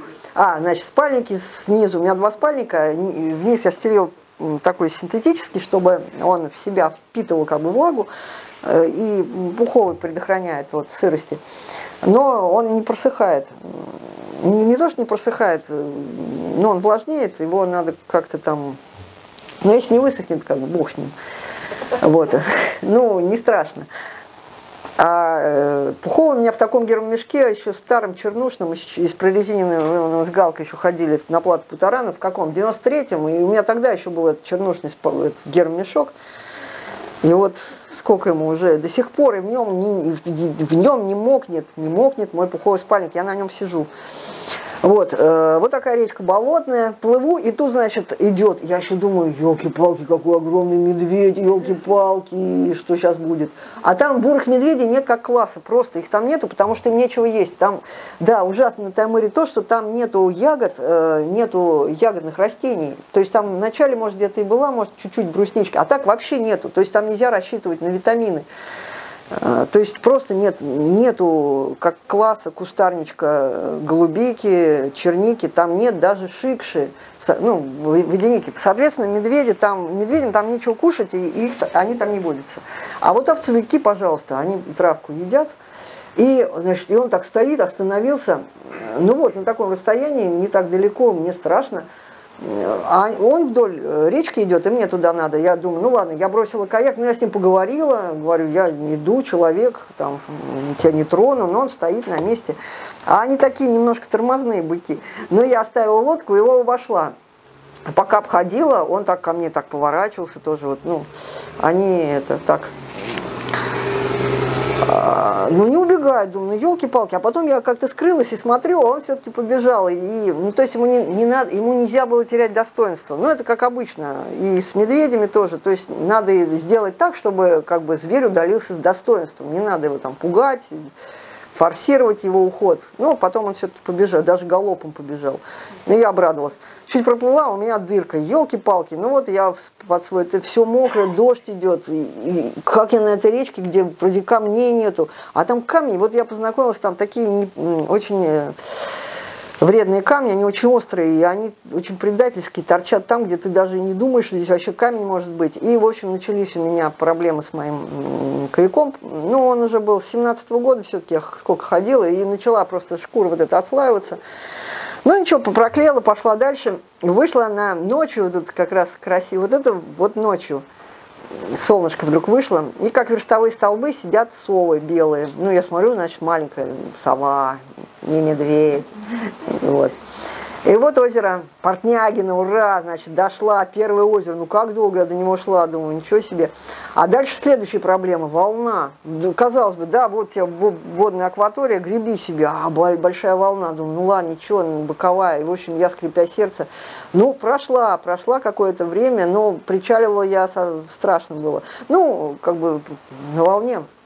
Дошла до балка, ну, в балке не стала ночевать, но нашла книжку, а то мне читать нечего было. Ну, я обычно что-нибудь нахожу и нашла тут. Рваная книжка, значит, там была э, первая повесть, э, там частично было вырвано, а вторая повесть была, только первая часть, второй не было. В результате я эту книжку два раза прочитала, перечитала до дыр, в общем. А сейчас что-то у меня даже, что? Да, а сейчас что-то даже нет времени дочитать, а там вот читала, читала. В длину э, три, три полосы, э, ну, каяк немножко поперек, чуть поперек. А, влезает, но поперек, ну, в смысле, по диагонали, чуть-чуть по диагонали все-таки. Или, или, нет, на самом деле, тут три, три полотнища по 80, трижды 8, 24, ну, плюс апсиды, они же расширяются, то есть, ну, в самую длину можно вытянуть до трех, да. И тут начался вылет мошки, такой, что дышать невозможно. Я выбегаю из палатки, меня, ну просто вот э, такой рой, они просто на мне роятся. И, им не надо меня кусать, она, я нужна им как субстрат. То есть они на все садятся и роятся. Но ну, дышать вот можно запихнуться реально. Но это продолжалось, это уникальное явление, я его наблюдала.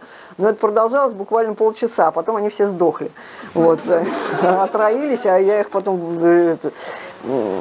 А ветер, это, это они выбрали момент, когда не было ветра, а это буквально между двумя вот приходами вот это продолжалось. Такой сильный, ну боковой, он все увеличивался. Я плыла, и вдруг это волк, смотрю, я, я с ним поговорила, а он такой молодой, любопытный. Значит, я говорю, мы с тобой одной крови, там, иди своей дорогой. Ну, он отлично побежал куда-то за горизонт. И я, о, хорошо, плыву дальше. Плыла где-то час, а потом что-то мне какой-то предмет на берегу заинтересовал, так огляделся, смотрю, а волк за мной бежит, он все, весь этот час за мной бежал, я тут так это опешила немножко. И вот тут я достал, у меня что, вот от волков, это вообще, первый раз достал вот эту пуколку, но это сигнал охотника называется, то есть вот, э, вот то, что у меня от медведей, ну, вообще от всего. Э, ракета сигнальная, которую вот так вот навинчиваешь, и вот с этой можно проезжать в самолете. Вот. И в этот раз у меня еще был вот нашатырный спирт. Э, но это как, как запасная граната, потому что ну, это в крайний случай для ближнего боя уже в ноздрю, гру, грубо говоря, белому медведю, если уже в палатку полезет. Не, а был случай, что Чукча, я же я не просто так. Что? Где писец у вас был, не помогло? Ну, я для песца, я же его, я его берегла для, для большого песца. Еще для песца его тратить. Нет, это для это последний, последняя граната. Вот она у меня сыграла. Это мне Серега Ермаков, кстати, подарил пузырек. У меня еще все вещи, они как бы, ну, они мне напоминают там что-то. И вот мой котелок все тоже у меня там мятый. Но, да, я не могу, я так к нему привыкла. Может быть, мы еще брали его, кстати, тоже плат Путаран даже, 93 -го года. Так, э, это я о чем? А, ну вот, я после этого, значит, зарядил эту пуколку, думаю, волки ходят вообще. А, еще, почему? Меня всегда местные говорят, да что, волки там, это, да ерунда, волки. А этот оленевод, который меня провожал, вот э, Алексей Попков, который из Новорыбна, он сказал, ну, а в собаке фигня. Ну, как вы с волками будете разбираться? Я не знаю, ничего себе. Первого оленевода встречаю, который говорит, что так про волков. Ну, и так забыла, когда эту волка встретила, как не по себе стал. Ну, наверное, я после этого дня два ходила с этой, а потом я опять убрала благополучно, и больше я волков не встречала. Вот. А, вот встречаются, вот это был, наверное, последний балок, это был на озеро Портнягина, который я встретила. Но тоже там все необитаемое, старый бивень. Но здесь, я, кстати, они там хранят лекарства, и в случае можно, значит, вот аптечку э, взять. Развела печку, не это, не удержалась, там дрова были, погрелась. И так мне неохота было уходить из этого волка, и прям меня там так тянуло остаться. И, наверное, надо было бы остаться. Но я же не знала, что как раз две, двое суток сейчас будет ветруга страшная. Но я поплыла дальше, естественно, ну как же я буду оставаться в балке, если погода стоит, а мне надо дальше. Я хотела дойти до начала, откуда начинается следующий волок. Вот, и тут э, дошла я до этого места, и тут такой ветрюга начался, опять вот это спать невозможно, грохот канонады, когда, ну здесь хоть камни были, я камнями привалил, но правда в один момент я даже подумал, нет, здесь спать невозможно, я пошла, а нигде не скрыться от этого ветра, вот нет таких мест, где вот ты так, я нашла маленький пятачок, я там искала за каким-то откосиком, думаю, сейчас сюда что ли перейти, но я понимала, что на сильном ветру я просто не смогу тогда палатку, я ее ставила еще на, на начинающемся ветру, в общем, осталось. А на следующий день пошла против ветра. Против ветра ходить ужасно, конечно. Вроде рюкзак не тяжелый, ну сколько там, 20 килограмм, ну 25 даже если. Все равно, вот э, ужас. Силы, э, ну что там говорить, в общем, таймыр. Ну что такое? Почему у меня не идет дальше? Зависло. А, ну и дальше я снова шла в две ходки до речки до речки Орлах.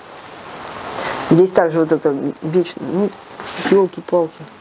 И тут на Волоковых озер, озерках маленьких, первый раз я увидела огромную стаю гусей. Там вообще видела я стаи до этого, э, но здесь они подошли ко мне, а я так тихонько там перекусывала, и я как к ним пластунски подползла, в общем, насчитала там 500 штук, то есть, ну, примерно пол, полтысячи.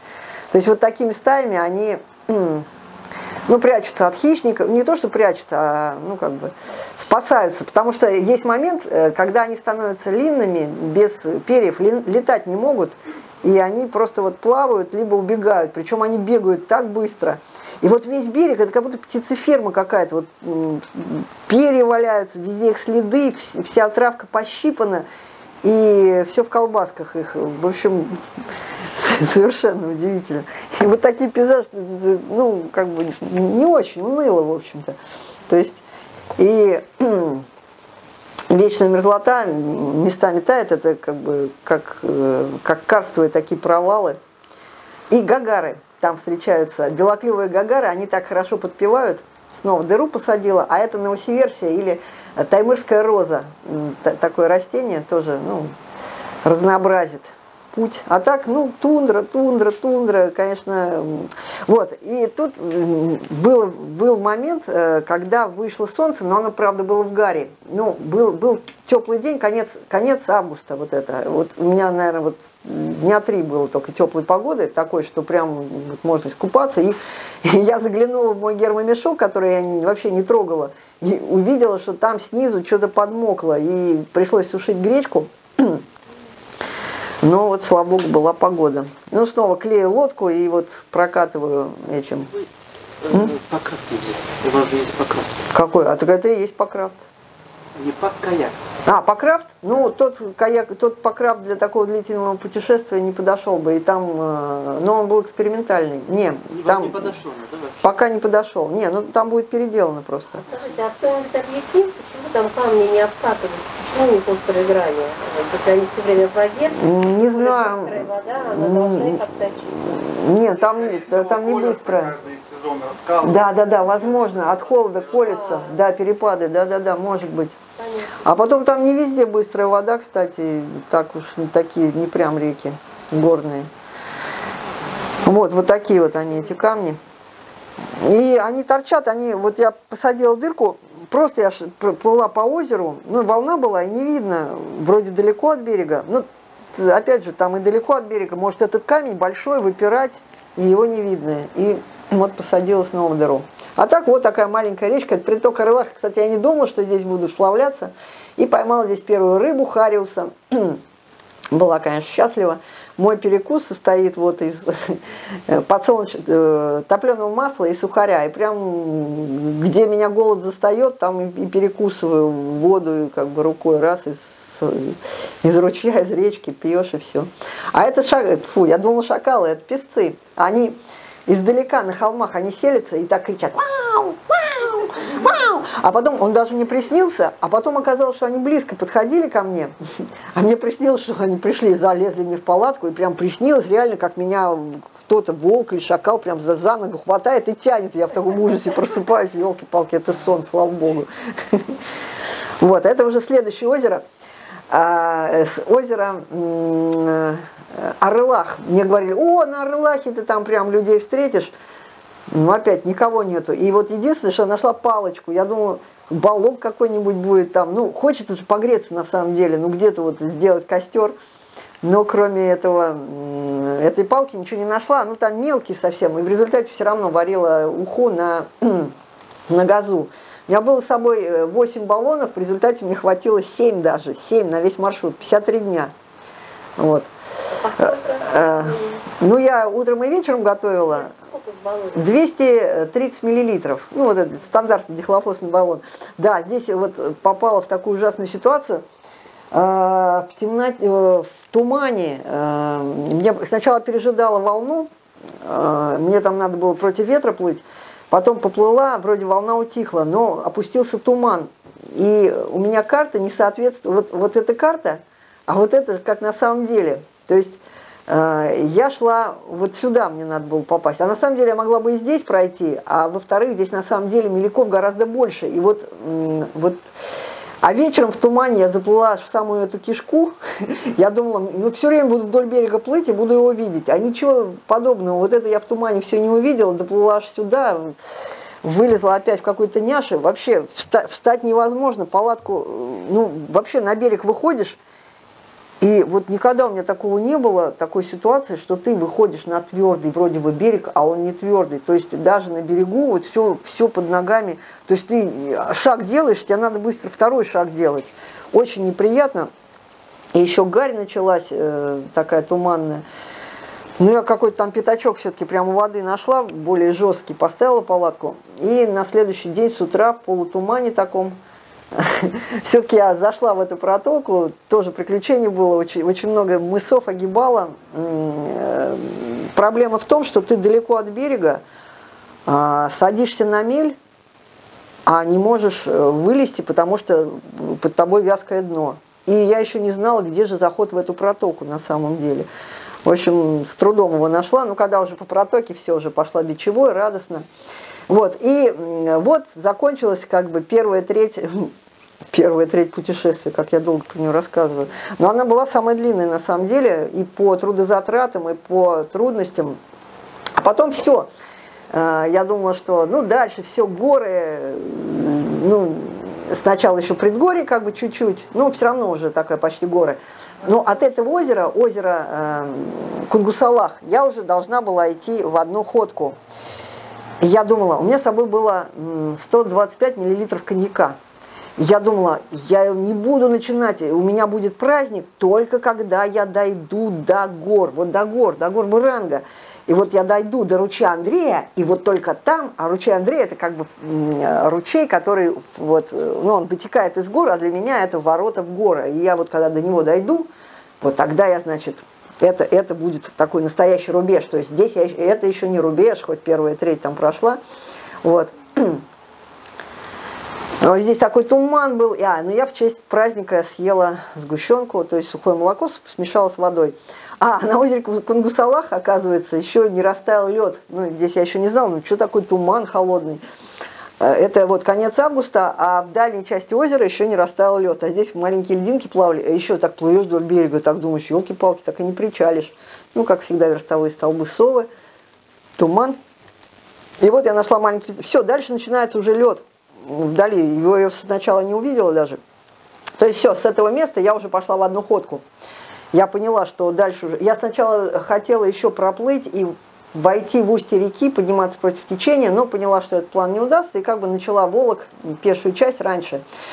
Рюкзак, думаю, все, я не подниму, с собой даже оставила часть э, продуктов, я оставила даже часть, у меня был пимикан, даже часть пимикана оставила, то есть жир с мясом, ну, потому что просто не надо было мне ничего лишнего. Килограмм 4, 3 или 4, наверное, оставила. Э, но сухари не поднялась рука оставить, все сухари взяла. То есть у меня баранок было на пешую часть, я взяла 6, 6 упаковок по 350 граммов. Это мои любимые баранки, мягкие.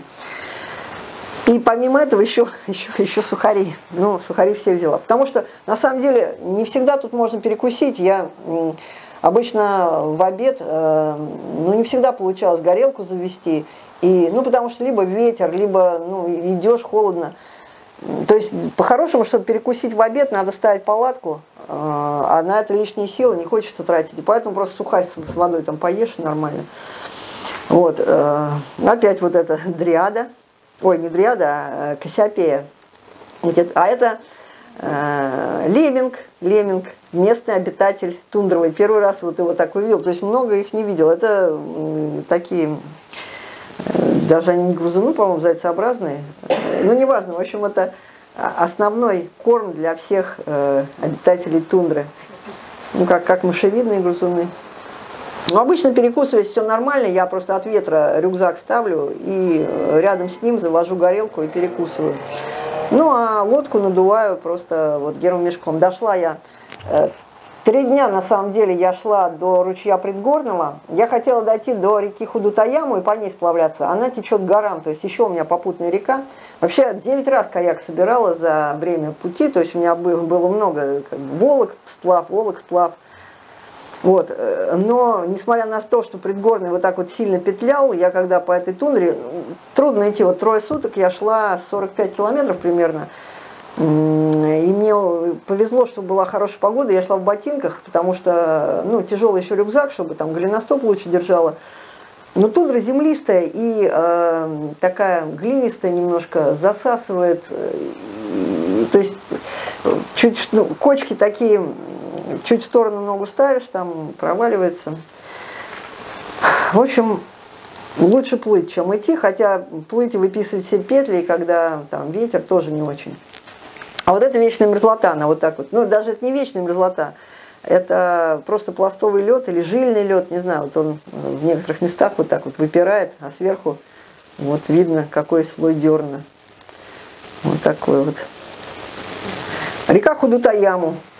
Плывешь по ней, то, то мелкая, и, и приходится протаскивать иди пешком, то прям яма глубокая. Бывает течение очень разнообразное. Ну, иногда приходилось идти, вот меляки, вот я посередине реки иду, а все равно мелко. И ну, где-то засасывает, где-то ну, вязнут ноги. В общем, реки Таймыра, они вот так вот для прохождения не очень. А берега вот такие от вечной мерзлоты, трещины такие, провалы, бугры.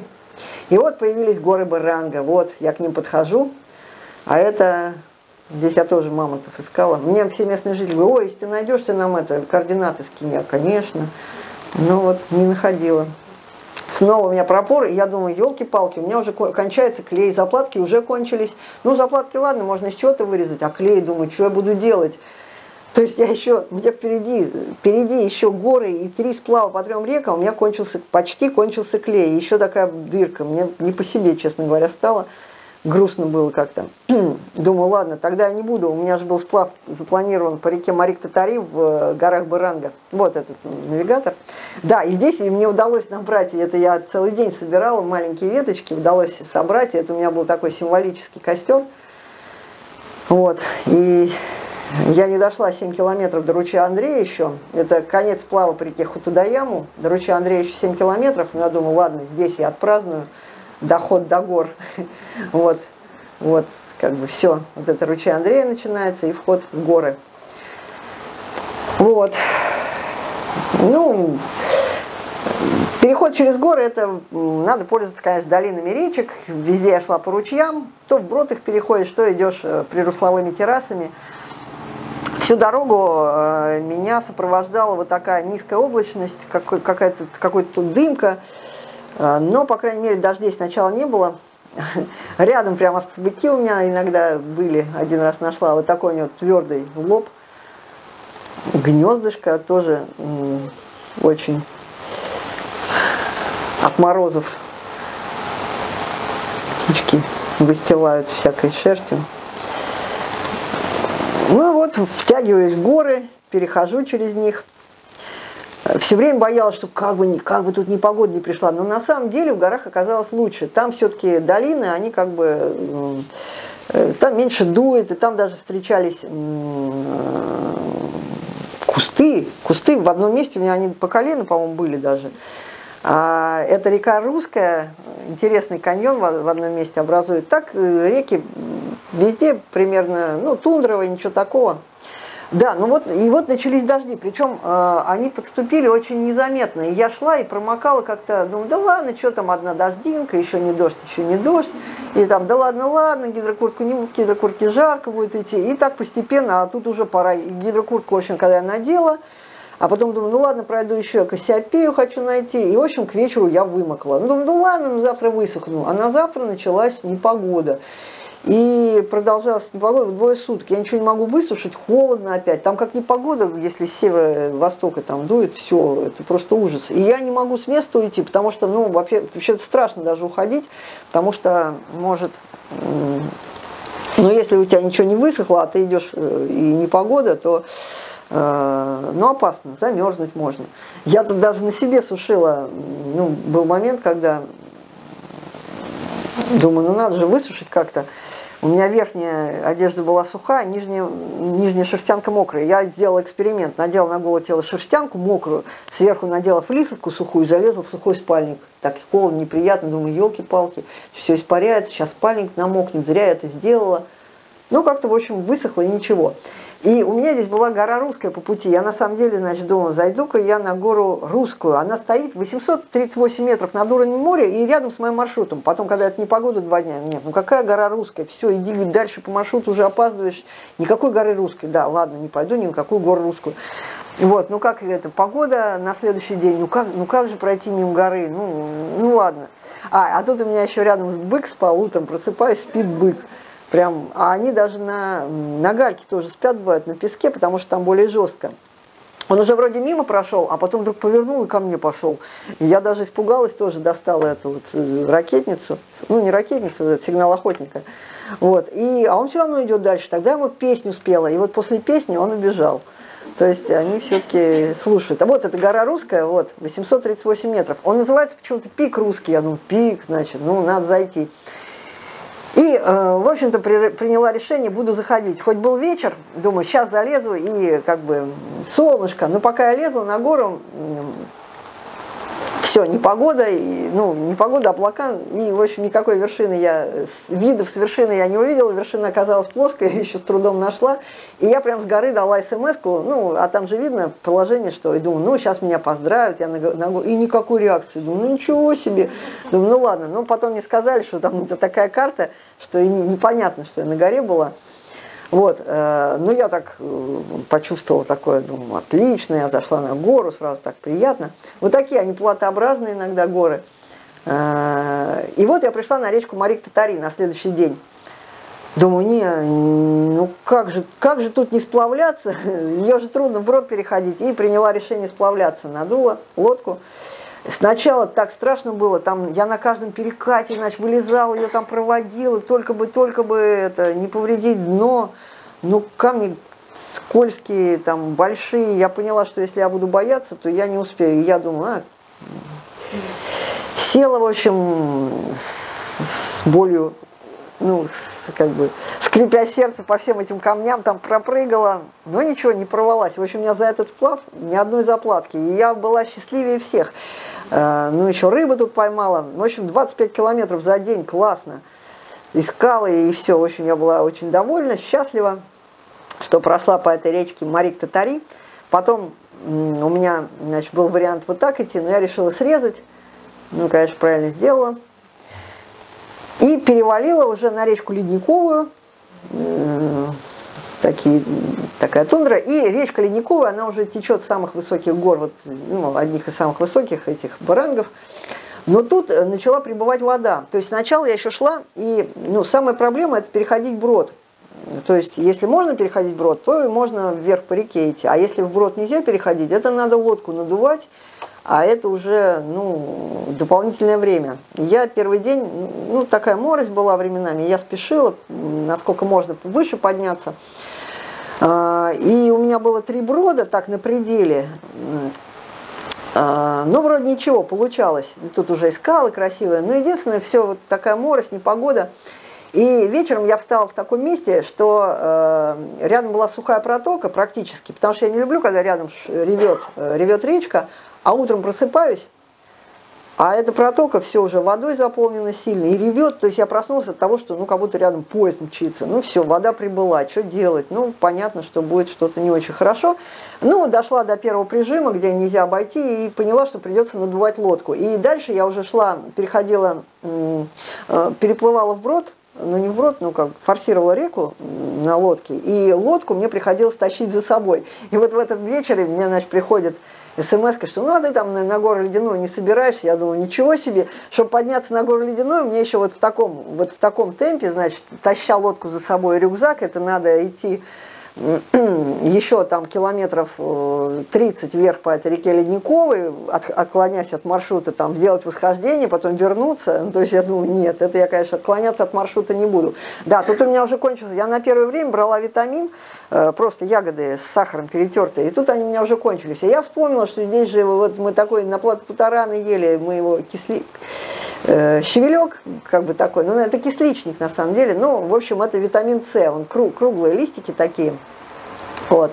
И он мне заменил как бы, вот, недостаток витамина С, стал его есть. Потому что, ну, чувствуется, можно там заболеть, усталость. Вот это высокие горы, туда если пойти, то можно прийти дальше к горе Ледниковой. Ледяная гора, 1119 метров. Ну а я сворачиваю на ручей, на боковой ручей, ручей Седой, вот, и по нему уже э, в его верховьях там лежит перевал на реку Жданова, куда я все наконец-то мечтаю попасть. И здесь опять начинается непогода, а я уже, я уже опаздываю, то есть, ну, к ледоколу еще не опаздываю, но дыхание зимы прям уже прям приближается. Ну, как бы холоднее становится. Птичка ко мне прилетела, прыгала по палатке.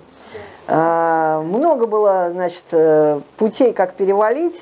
Я сначала думала, пойду вот так как-то, а потом думала, а что я буду в высокие горы лезть, и решила вообще все вот так вот обойти и, и, и прийти вот на реку Левую Жданову. Так и сделала. Причем мне пришлось выходить даже в морось, то есть я сутки пережидала, потом думаю, уже невозможно пережидать, пошла под моросью. Оленей первый раз увидела, кстати, до этого не было оленей. Э, ну, под моросью все хорошо, но плохо то, что если ты за день намокаешь, ну, тебе не высушится. И следующая ночевка уже будет тяжелая. Это ягель. Очень много там.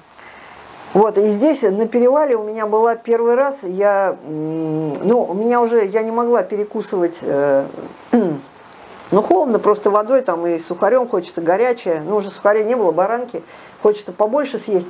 Короче говоря, я перекусывала под проливным дождем, просто вот так вот, э, накрыв горелку своим телом, грубо говоря. И причем у меня руки все уже покраснели, но я понимала, что, ну, там резинка на обшлагах этого, гидро, гидрокуртка у меня хорошая, она не промокает.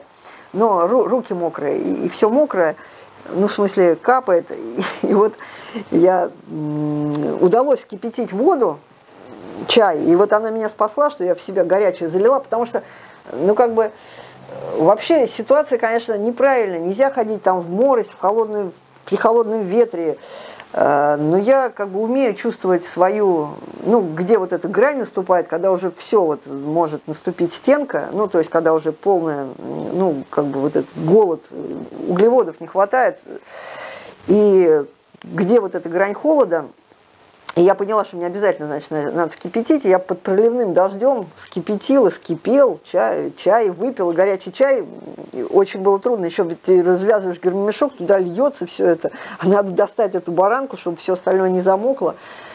В общем, перекусила с грехом пополам и поняла, что все, сейчас вот через 20 минут приходят силы, и я перейду перевал, и так и было. И перешла перевал, и как раз и дождик кончился, и ручьи потекли в нужную сторону, в общем, перевалило счастье. Спускаюсь, э, ну, место, конечно, не очень, все опять мокрое, еще сутки пережидала, а я уже на слиянии двух ручьев, вернее, даже там, ну, еще не один впадает, я думала, может, отсюда уже сплавляться, да нет, какой там, но это вот истоки реки Жданова, еще 8 километров не остается до реки Жданова, и на следующий день хоть идет дождь, но я думаю, ну как дождь, морось, я думаю, я все-таки еще в горах, сейчас спущусь, выйду из горы и из облаков, и будет лучше. Первый раз нашла там грибы, гру, типа груздей какие-то. В общем, дошла я на следующий день, несмотря на то, что непогода все-таки, до слияния рек, рек Левая, Жданова и Жданова. Стрелка очень красивая первым делом ловить рыбу есть хочется уже так, что без как бы белковой подпитки, ну, что у меня там, я же посчитала, на, когда я оставляла пимикан, я посчитала 30 ложек, когда пере... 30, ну, вот, э, ну, красоты были. Здесь у меня, э, значит, начался ветер и дождь, но ветер был попутный, это, это был плюс, холодно было, но ветер подгонял. И э, я плыла и думала, я вот пока не поймаю рыбу, дальше я как бы впрок не ловила хариусов, думаю, поймаю, потом еще и поймала красную. Кидала, кидала я тут.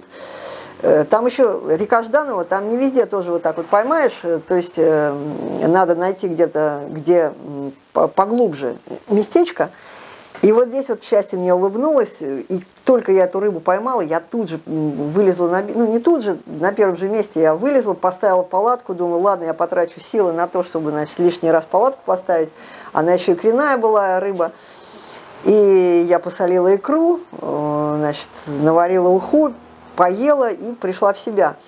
Э, то есть много красной рыбы, жирная, она вот как-то восстанавливает. После этого вот весь сплав я ела только сплав по реке Жданова, ела только этого гольца, даже крупу не ела.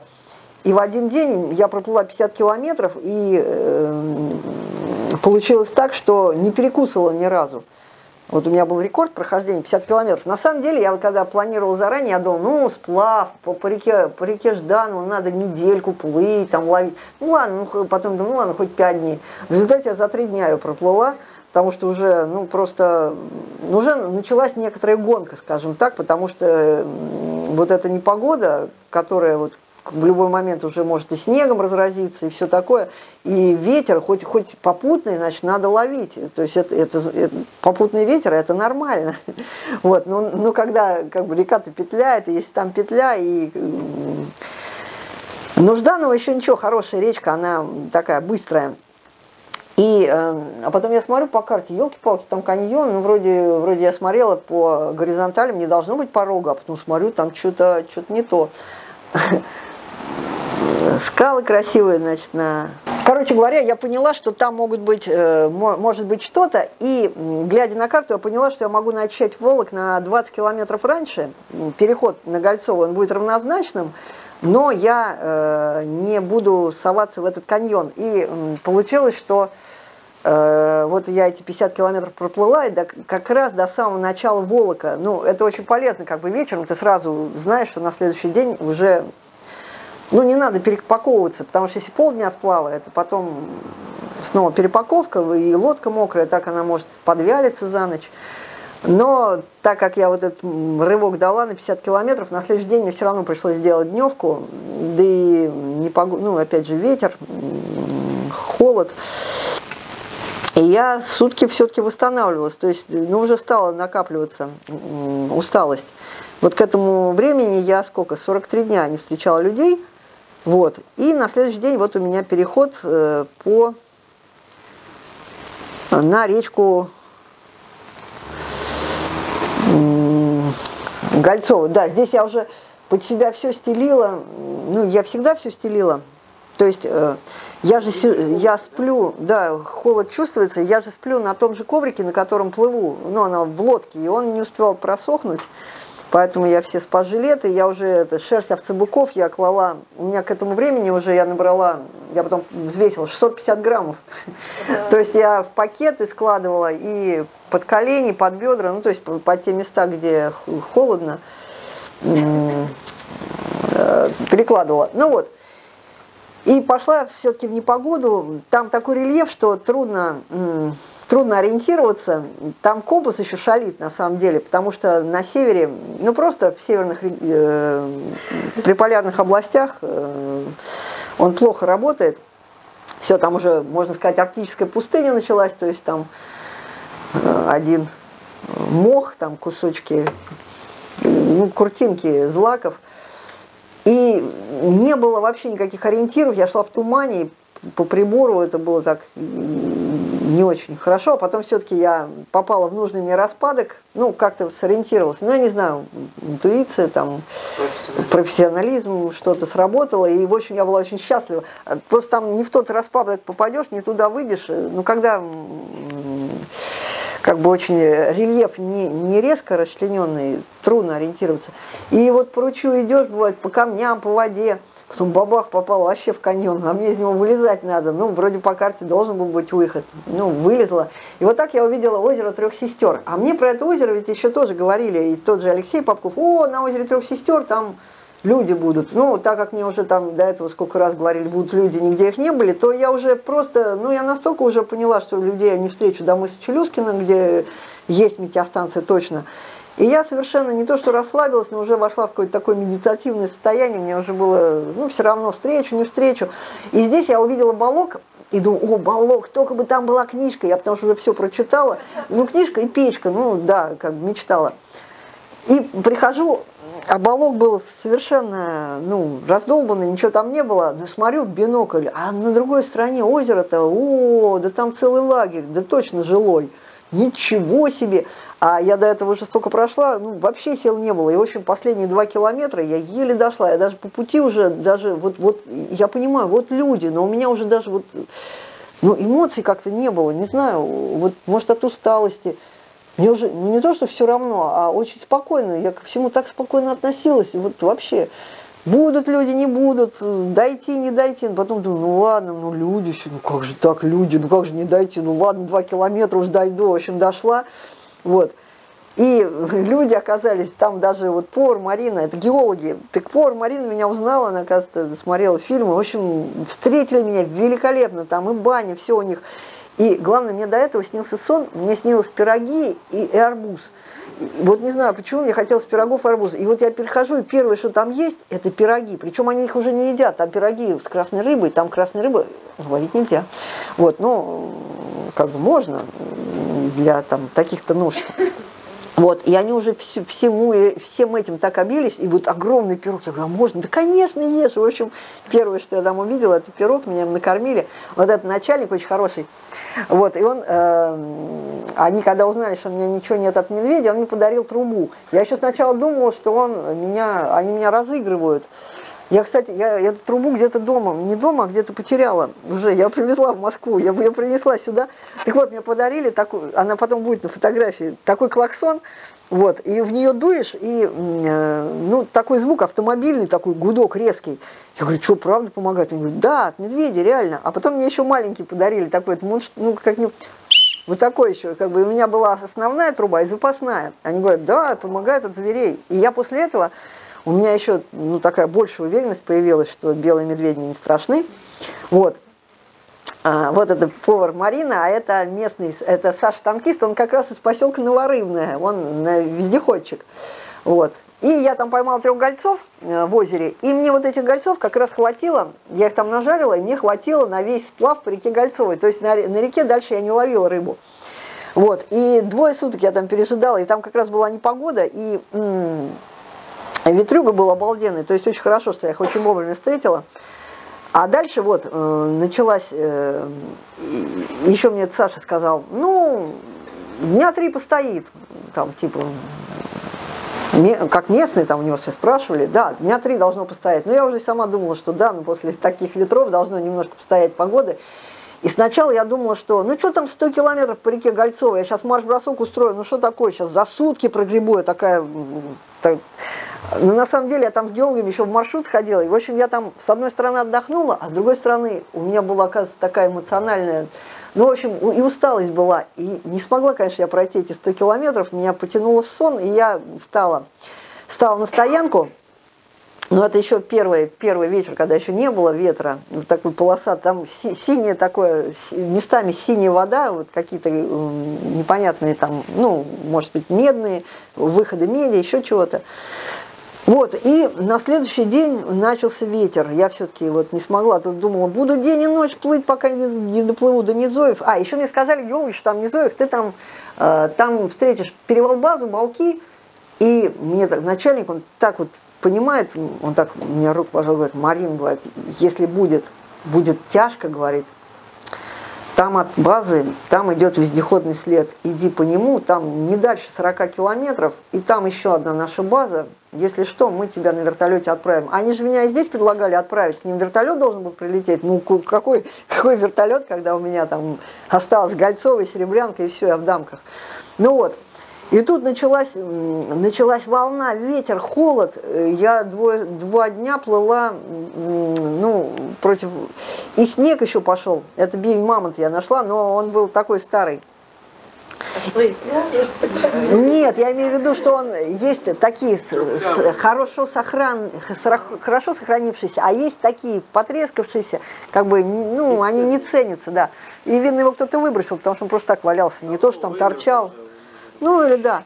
Вот. И такие берега нигде не встанешь. Тут реально еще не найдешь места, где встать. В общем, и двое суток вот я еще гребла, причем э, тоже тут неправильно определился. А вот это место, пятачок, это вот я его нашла, просто вот кажется, вот что там место, а такое место найти на берегу речки. Ну, то есть там есть где-то на галечнике, но я не встаю на галечнике. Там тоже, ну, да тут и галечников-то почти не было. Вот такие грязные какие-то берега. А здесь гуси спали. И вот, то есть, вот где гусиное место, да, это значит хорошо. И именно в таких местах, где река, где какой-то ручей впадает, и там есть такие терраски. А так весь берег такой изрытый, высокий. И снег уже пошел, и холодно, и тут я нашла такую деревяшку, одну, какую-то вешку, из нее костер развела. Да, я уже на руки, у меня и носки, и перчатки, все это промокает. Э, ну, главное, чтобы вот, вот эти, высушить то, что на руки. Я уже носки старые набила шерсть овцебыков, это у меня стали очень хорошие варежки, только так гребла.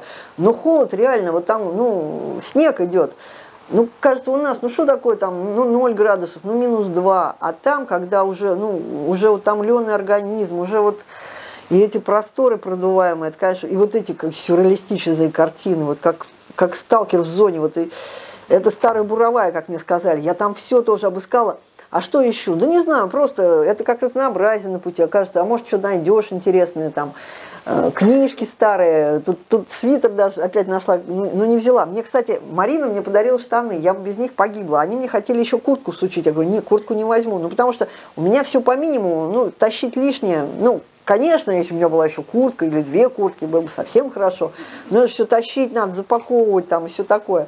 Я думаю, здесь в балке, может, будет эта печка, но ничего там не было ну, вернее, все было недействующее. Местами мне приходилось, ну, такой сильный ветер, ну, там, конечно, не снимаешь, и приходилось по берегу просто идти, тащить лодку за собой.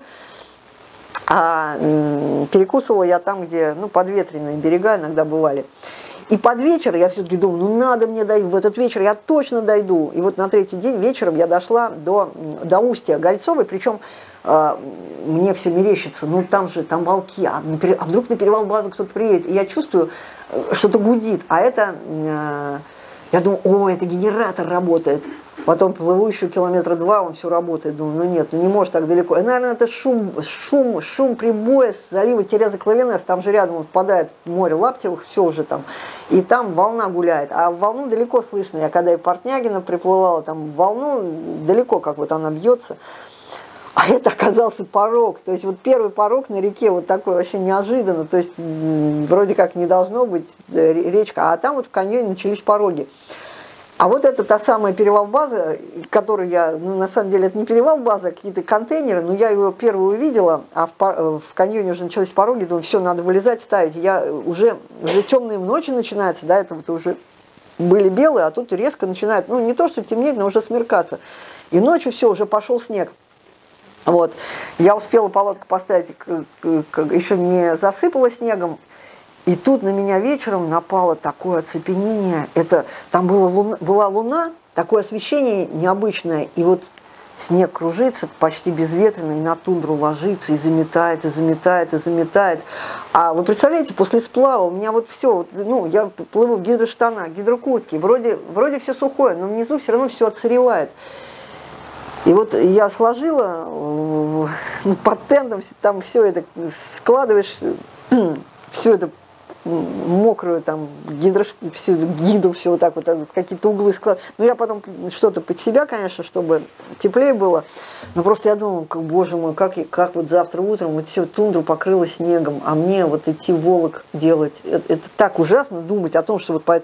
у меня такие мысли, а может пойти, может по этому следу пойти а может денек пережидать, а где же? Я-то думала, здесь будет база, балок, я ну как-то подсушу снаряжение, плавник, а тут вот такой голяк. Э, я подошла к этим контейнерам, там доски широч, ну какие-то гнил, ну моей маленькой пилкой, в общем, костер делать, это без вариантов. На следующий день вот все замело, думаю, ну ладно, пойду на разведку. И только я пошла на разведку, чуть-чуть посмотреть вперед, а, и руки замерзают, я уже руки засовываю в мешок с, с этим, с шерстью. И тут, значит, э, на меня выбегает писец. Не на меня, он мимо пробегает. Я такая, быстрее камеру, быстрее, быстрее снять. О, хорошо, не убегает. Ой. А он прямо это близко. Ой, я здравствуй, дорогой, там, а-ля-ля. А он что-то на меня вообще уже начинает мне эти, начал обнюхивать мои эти э, сапоги и зло так на меня смотрит. Я говорю, ну ладно, ладно, иди своей дорогой. А он так... И отошел, и вдруг побежал. Ну, и побежал. Я, я иду дальше, три шага сделал, потом, ну, елки-палки, он же в моей палатке бежит. А там же еда. Я быстро разворачиваюсь, значит, бегу с палатки, и он туда, значит, мы почти одновременно подбегаем. А он первым делом вцепляется в, в нос моего каяка и начинает его грызть. И тут, значит, меня проняло. Ну как же так, он сейчас мне, ну там рыбы пахло, понятно. Я начинаю на него орать, гонять его, а у меня основной кол, он в палатке стоит, а палка тоже лежит в палатке. И я его там, на него ору, там начинаю, а, и тут еще камни такие, тут камней-то везде нет нормальных. Ну, они такие вросшие, их не, не поднять. И я в него начинаю и кидать, и кричать. А он вокруг палатки бегает, и то в палатку пытается ворваться, то в это. И, ну, стра- странное поведение – и э, все вещи, которые в него кидаю, он начинает их кусать. Первый раз его а, отогнала, потом второй раз стал прибегать, и он рвется в палатку, причем это ужас. А мне же надо позавтракать, я не могу уйти, потому что мне ну, сил нету, обязательно надо перекусить. И кое-как я палатку, не палатку, а ну какое же там просушивать. В общем, лодку кое-как со- собрала, свернула, убрала под тент, чтобы только он его не кусал. Так он стал рваться под тент. Причем он стал уже колышки вы- вытаскивать. Ну, не потому что кол- он, он все, он там камни, которыми палатка, а мало камней там было. То есть он реально может ворваться в палатку и съесть еду. Ну и меня укусить, он какой-то был. Ну я боялась, что он бешеный, потому что поведение, конечно, было непонятное.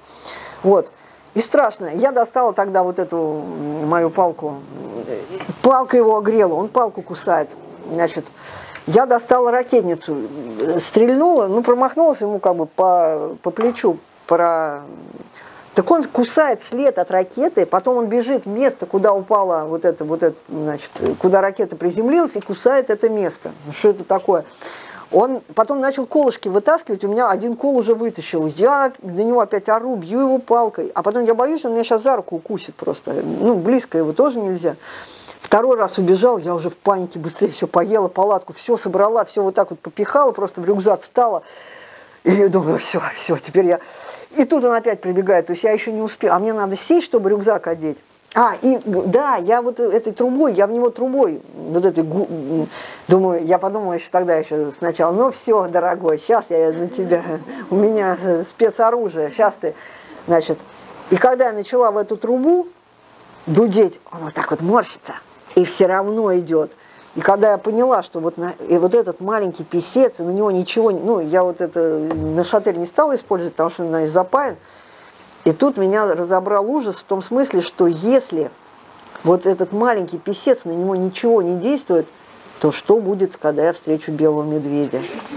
Ну, это действительно страшно. Просто я уже у побережья, они здесь могут быть. И, в общем, я уходила, ну вот я его последний раз отогнала, уже рюкзак одела и ушла, и прям оглядывалась, и у меня уже мания началась, я все время оглядывалась, я, я обычно никогда ни- ничего не боюсь, вот так иду по тундре, а тут... И я отошла, и тут я увидела, а вон она база-то, елки-палки, мне вот писец не дал ее разведать, и я думаю, идти дальше по маршруту или все-таки вернуться. А я была в таком состоянии, ну я спала очень мало, я проснулся от холода, я думал потом поспать, мне писец не дал, не поесть, не поспать, значит. Я думаю, нет, надо вернуться, я вернулась в базу, причем первая была плохая, еще до второй дошла, ну тоже плохая, но там мне удалось просушить, э, ну я разложила просто вещи, и я все время, я как вот я в такой обороне, так откуда он появится, но он, слава богу, не пришел, я там поела второй раз, а я там уже дошла до, до, того, до такой степени голода, что мне надо было перекусывать обязательно два раза в день. Ну, я кашу уже такую быстро э, разваривающую, ну, там, 5 лаков который просто кидаешь. Но зато каньон увидела красиво. А это вот там уже все залив Тереза Клавина, все море. Но здесь никакого вот плавника не было. То есть костер мне не удалось развести. Ну, я вот так вот просто просушила и ушла дальше переваливать Река Клязьма, кто ее так назвал? Наверное, геологи, которые так ра- там работали. Она действительно в па- в память, ну, как о средней полосе, она же тоже Клязьма. И там вот на этой речке такой равнины, вдруг бабах, такие красивые, такой красивый, ну, снежник был, полюбовалась. И опять же, вот это бревна, наверное, тоже окаменевшие камни красивые. Ну, то есть вы идешь, любуешься. На самом деле на Таймыре мало вот таких мест, где действительно вот что-то такое красивое.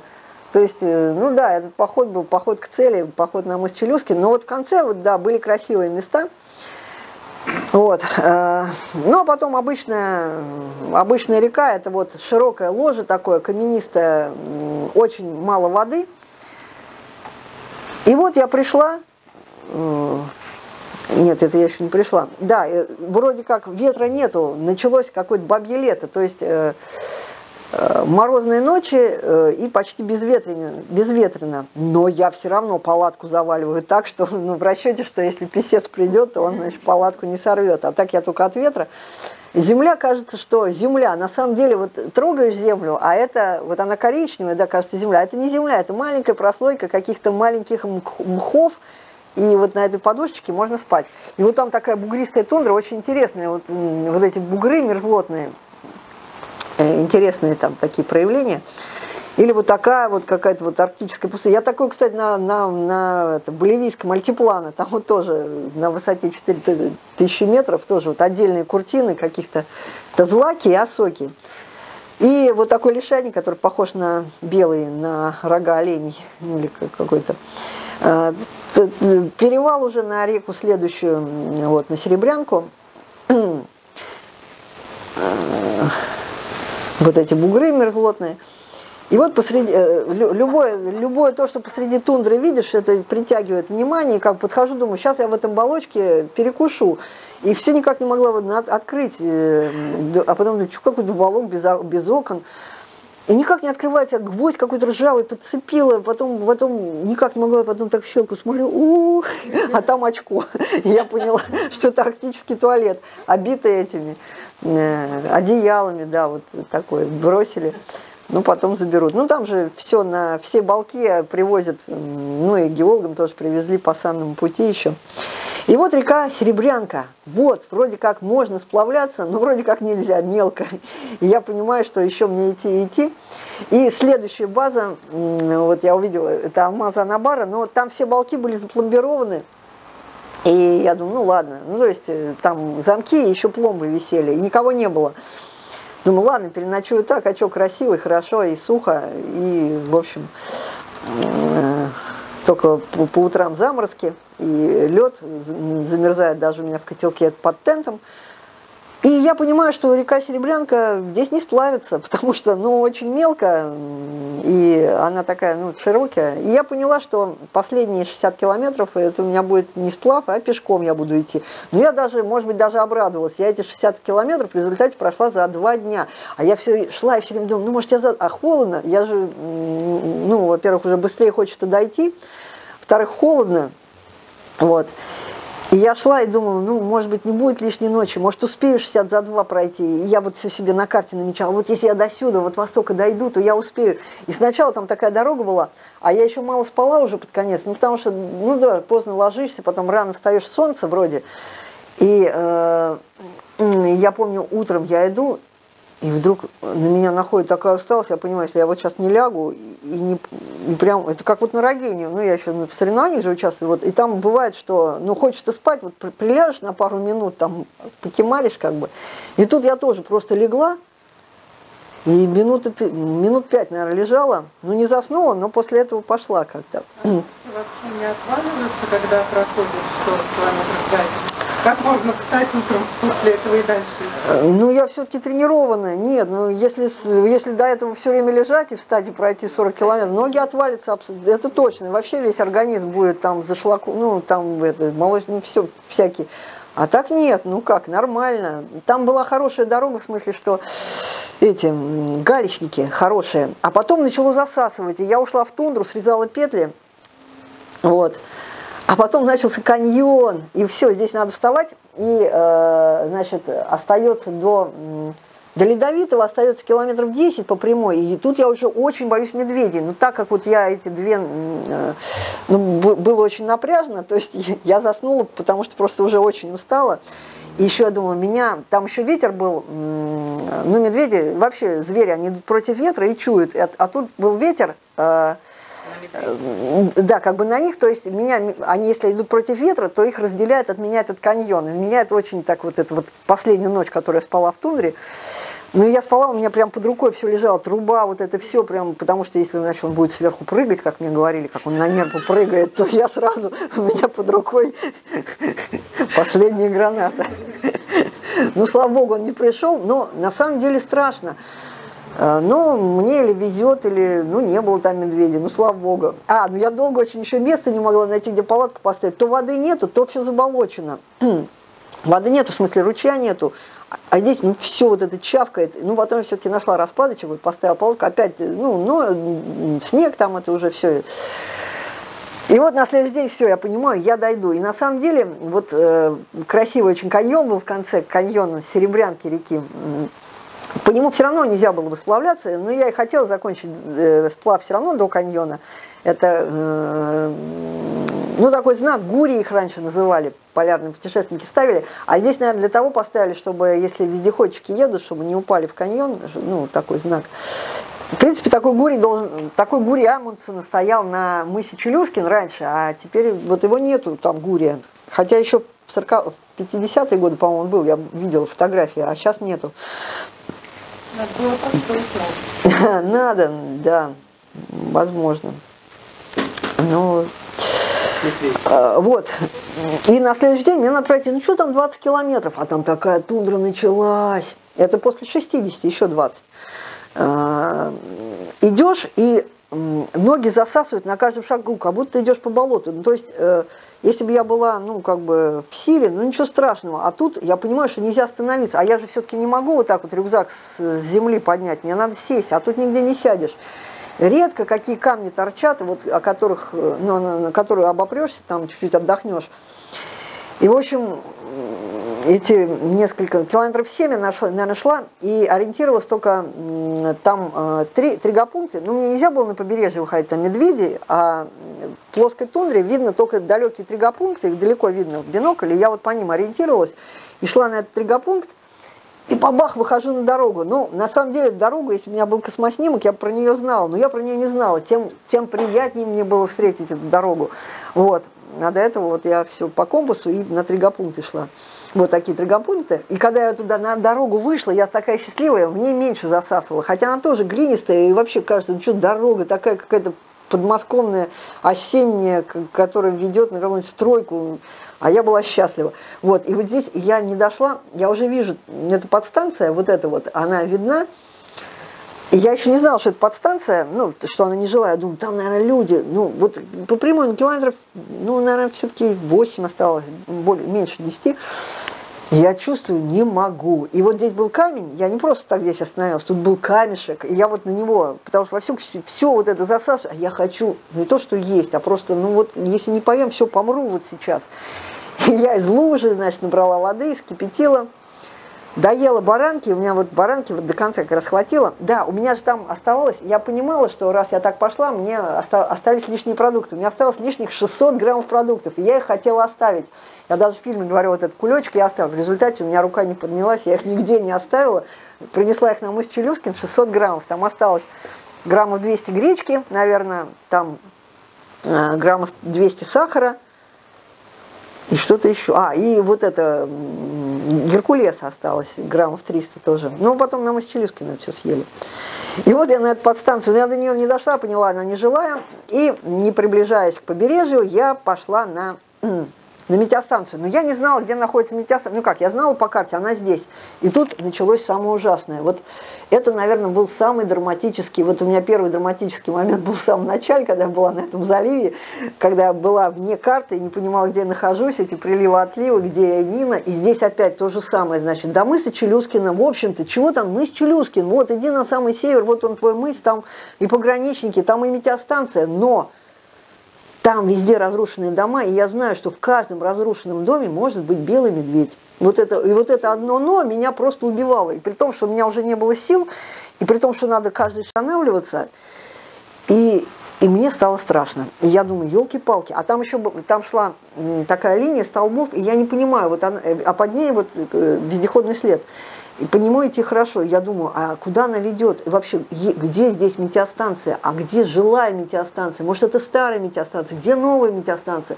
А мне еще до этого друг написал, о, да там на мысе Челюскин у тебя новый поселок, целый поселок огромный. Я смотрел там, а он смотрел по Google, ну, космоснимку. А я не посмотрела космоснимок, вот когда готовилась к путешествию. Думаю, ну что, приду на мыс Челюскин, там люди, что там?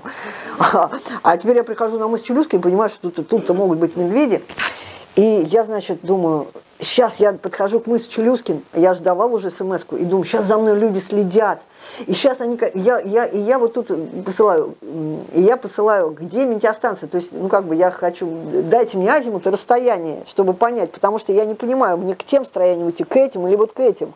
Где тут люди, а где медведи? Как бы вот эта смс я вот это хотела как бы сказать. Но люди не поняли. А, Нина была на соревнованиях, как раз были соревнования, были, а была она на чемпионате. Я, она бы меня поняла как ориентировщица. Я, ну, как бы, я просила азимут расстояние. А друг не понял этого. И он вообще в этот день так обычно, как бы, ну, я посылаю мне сразу, а тут никаких ответов. Я думаю, елки-палки, чего делать, что делать? То есть у меня, у меня случился вот первый раз это какой-то психологический срыв. То есть мне реально вот чуть ли не истерика началась. Вот, и меня спасло то, что я услышала, работает генератор. Но я сначала подумала, что это у меня сердце так стучит. То есть, ну, как, вот я вот сейчас тоже со стороны думаю, вообще мысли. Я понимаю, Марина, да перевали вот этот холмик. Это я сама с собой, значит, говорю, себя заставлю перевалить. Там должна, вот на карте метеостанция, она вон там. Иди туда, там должны быть люди. Нет, а вдруг не там, а вдруг там, там. Вот, и тут работает генератор. Думаю, все, генератор работает, значит, там люди. Я смотрю, перехожу, и я увидела свет яркий прожектора, это были погранцы, я понимаю, но я знаю, по карте метеостанции здесь, ну я так уже как бы, ну, взбодрилась, все, там светит, во. Потом я же видела издалека, там дым, там, там корабль разгружался, когда издалека смотришь, а когда вот близко подошла, ну, два, там достаешь два с половиной километра, и я вот, я в панике, то есть я, а, я еще боялась, сейчас сядет туман, вот я еще чего боялся. То есть компас не работает, туман сядет, любое строение это белый медведь. По смс мне не отвечают азимут. То есть пусть сядет туман, но когда азимут расстояние, я дойду. Они же смотрели по гуглу, я думаю, они же знают, где люди, почему они мне не пишут? В общем, меня такая, думаю, ух, тоже мне это, помощники, по, это, друзья называются, ах вы гады, там, вот. И тут, значит, я увидела этот прожектор, а потом я смотрю вот на эти здания и думаю, так, ну, похоже на метеостанцию, и по карте она здесь. Ну, что-то не похоже, чтобы жилая была. Ну, какая жилая, все опять разрушено. И потом я на минутку мелькнул огонек. А потом мне еще, когда я туда уже пришла, они говорят, да какой огонь, у нас нет огоньков. А потом оказалось, у них на метеостанции, на этой площадке, где вот эти все приборы стоят, у них есть одна лампочка, которая горит и днем, и ночью, потому что они на эту лампу, по этой лампочке смотрят температуру подземную под землей, ну, они этот градусник вытаскивают, а они уже даже забыли, что у них эта лампочка все, а меня эта лампочка спасла. То есть я хотела уже пройти мимо и туда идти, ну, там бы были погранцы, там другие, но нет, на метеостанцию надо. И, в общем, я сюда пришла, и все, действительно, там собака выбежала, и, в общем, я была счастлива. Вот. А на самом деле, значит, вот эта метеостанция, и на следующий, я уже в этот день, конечно, никуда не пошла. Там еще было двое ребят, они пришли первого числа, я пришла 2 сентября, это были двое ребят автостопщиков, вообще отдельная история. Они 72 дня шли до, только до озера Таймыр, но они начали из Норильска. Потом поняли, что они не дойдут, и уже там на вертолетах их подбросили больш, большую часть, и они туда пришли они, их тоже выбросили в низовье Гольцовой, а они шли туда то ли 10 дней, ну, в общем, очень медленно. И когда они пришли 1 числа, и сказали, и им сказали там, ну когда Марина-то придет, ну у них тоже была связь, и там передали по рации, что это. Они говорят, о, ну через неделю где-то придет. Я на следующий день прихожу, потому что ну, я уже не могла, ну то есть у меня быстрее скорость, и они были очень удивлены, что я так быстро пришла, поэтому как-то тоже меня ну, не ждали. Вот, и, ну и на следующий день я уже с утра пошла, тоже я ходила там с трубой, я всегда брала с собой трубу, эту штуку, а потом мне вообще ракетницу стали давать, настоящую большую ракетницу. И вот я иду на мыс, и тут я понимаю, что а я не знаю, где мыс. Там все, там все как бы застроено, завалено всяким мусором. Мне казалось, что на мысу должны быть какие-то эти... А на самом деле на мысу там, там три таких мыса, и они примерно равнозначны. Я уже по солнцу, я уже смотрю по солнцу, компас-то не очень, где ну, полдень, солнце должно быть, значит, на юге, там север. Вот. А потом думаю, о, ну вот это, наверное, ну, мыс, там обелиски стоят. То есть я прошла, я уже мыс Челюскин прошла, не признала его за мыс, потому что там, ну, там только столб стоит какой-то, там ну, пограничный столб, какая-то зенитка стоит. А на другом мысу там обелиск. Я думаю, ну это, наверное, здесь. И ну, спросить некуда. И наконец-то выходит пограничник. Я говорю, здравствуйте, значит. Ну, его снимать нельзя, конечно. Он говорит, не, мы с Челюскин вон там, пойдемте, значит. И вот он мне уже показал мыс Челюскин. А, кстати, вот он мыс Челюскин. вот. И на самом деле вот здесь вот такая белая кварцевая глыба. Это очень характерно для мыса Челюскина. Его Амундсен как раз, ну, вернее, Свердруп, ну, это соратник Амундсена, когда они там на корабле вот пришли туда. На... Вообще, открытие мыса Челюскина, это вообще отдельная лекция, отдельная история. Я хочу сделать фильм про это. Это вообще, то есть э, его за мыс Челюскин принимали много других мысов. И когда я пришла на этот мыс, вот сейчас при современном, я поняла, как, легко, как трудно найти самую северную точку Евразии. И на самом деле я вам скажу, что Челюскин, ну, да, это самое, считается все по праву открывателя, Челюскин, но Челюскин, они были на другом мысу, это уже, ну, неважно, все равно это наш самый северный мыс, и э, экспедиция первая, которую открыла, это Великая Северная экспедиция 1733-43 годов, Хоть они, они прошли мне ну, этого мыса, но они не признали, что это самый северный, они поставили столб на другом мысу. Вот, но неважно, все равно они первые прошли этот мыс и открыли его. И вот здесь сейчас стоит э, пограничный столб и зенитка. И там еще стоит стела, на которой стоит с корабля Веги. Там, ну неважно. А вот, вот он самый мыс и э, вот эта кварцевая глыба, которая описывает Свердруб, но не описывает Челюскин, потому что он не этот мыс описывал. Он описывал мы, мыс э, средней высоты, там, а это вообще низкий мыс. Ну, неважно. Вот, он, вот она самая северная точка, 3 сентября я ее достигла. А потом я месяц жила, потому что этот корабль, он пришел только в конце сентября, и целый месяц я жила, ну, нельзя говорить, что на метеостанции, я жила около метеостанции, там, и э, удалось видеть и белых медведей, а это вот как раз, это, вот этот памятник э, в честь Великой Северной экспедиции, он стоит не на мысу, он стоит в полутора километрах рядом с э, метеостанцией. А медведям Вот, трубили вот. Медведем в трубу. А, нет, не трубила, потому что видела, да, и мы вот даже, куда мы залезали от медведя? Не, не на это здание, на другое. А, Мы когда гуляли там с ребятами, автостопщиками, один раз медведь, э, один раз я его далеко увидела, ну как, метров там 200, и мы его обошли. А один раз три- 30 метров из-за угла, и мы так... э, Но мы ходили, у роста было оружие, ну, настоящее, они, у ребят было оружие. И мы всегда ходили либо вдвоем, либо втроем, либо если одна я брала ракетницу. И вот мы как раз с ростом пошли гулять, и медведь прямо из-за угла, и мы залезли на крышу, и вот с крыши я все снимала. А он пришел, а, это, кстати, там не было указателей, сколько до Москвы, то есть там стоят, вот так, ну, бывают, да, так, так, такая столб с указателями, где что, и вот до Москвы, ой, сколько времени же уже, 3469 километров, вот эту табличку я сделала и там прибила. Ну, а потом э, вот в конце месяца э, на корабль берет только вертолет, там с вертолета это вот уже сам Михаил Сомов, э, судно ледового класса, на котором я и ушла до Тикси. Пять дней мы шли. А Тикси уже, из Тикси уже улетел в Москву. Вот все. А вот это как мыс Челюскин выглядит с- с космоса. Во-первых, вот ка- каждый из этих мысов не, не по- Ну вот, с- самый северный это вот этот. Вот он, мыс Челюскин. Вот этот. А гранитный камень где? Вот здесь, это не гранитный, кварцевый, белый, да, вот здесь, вот, он- вот он.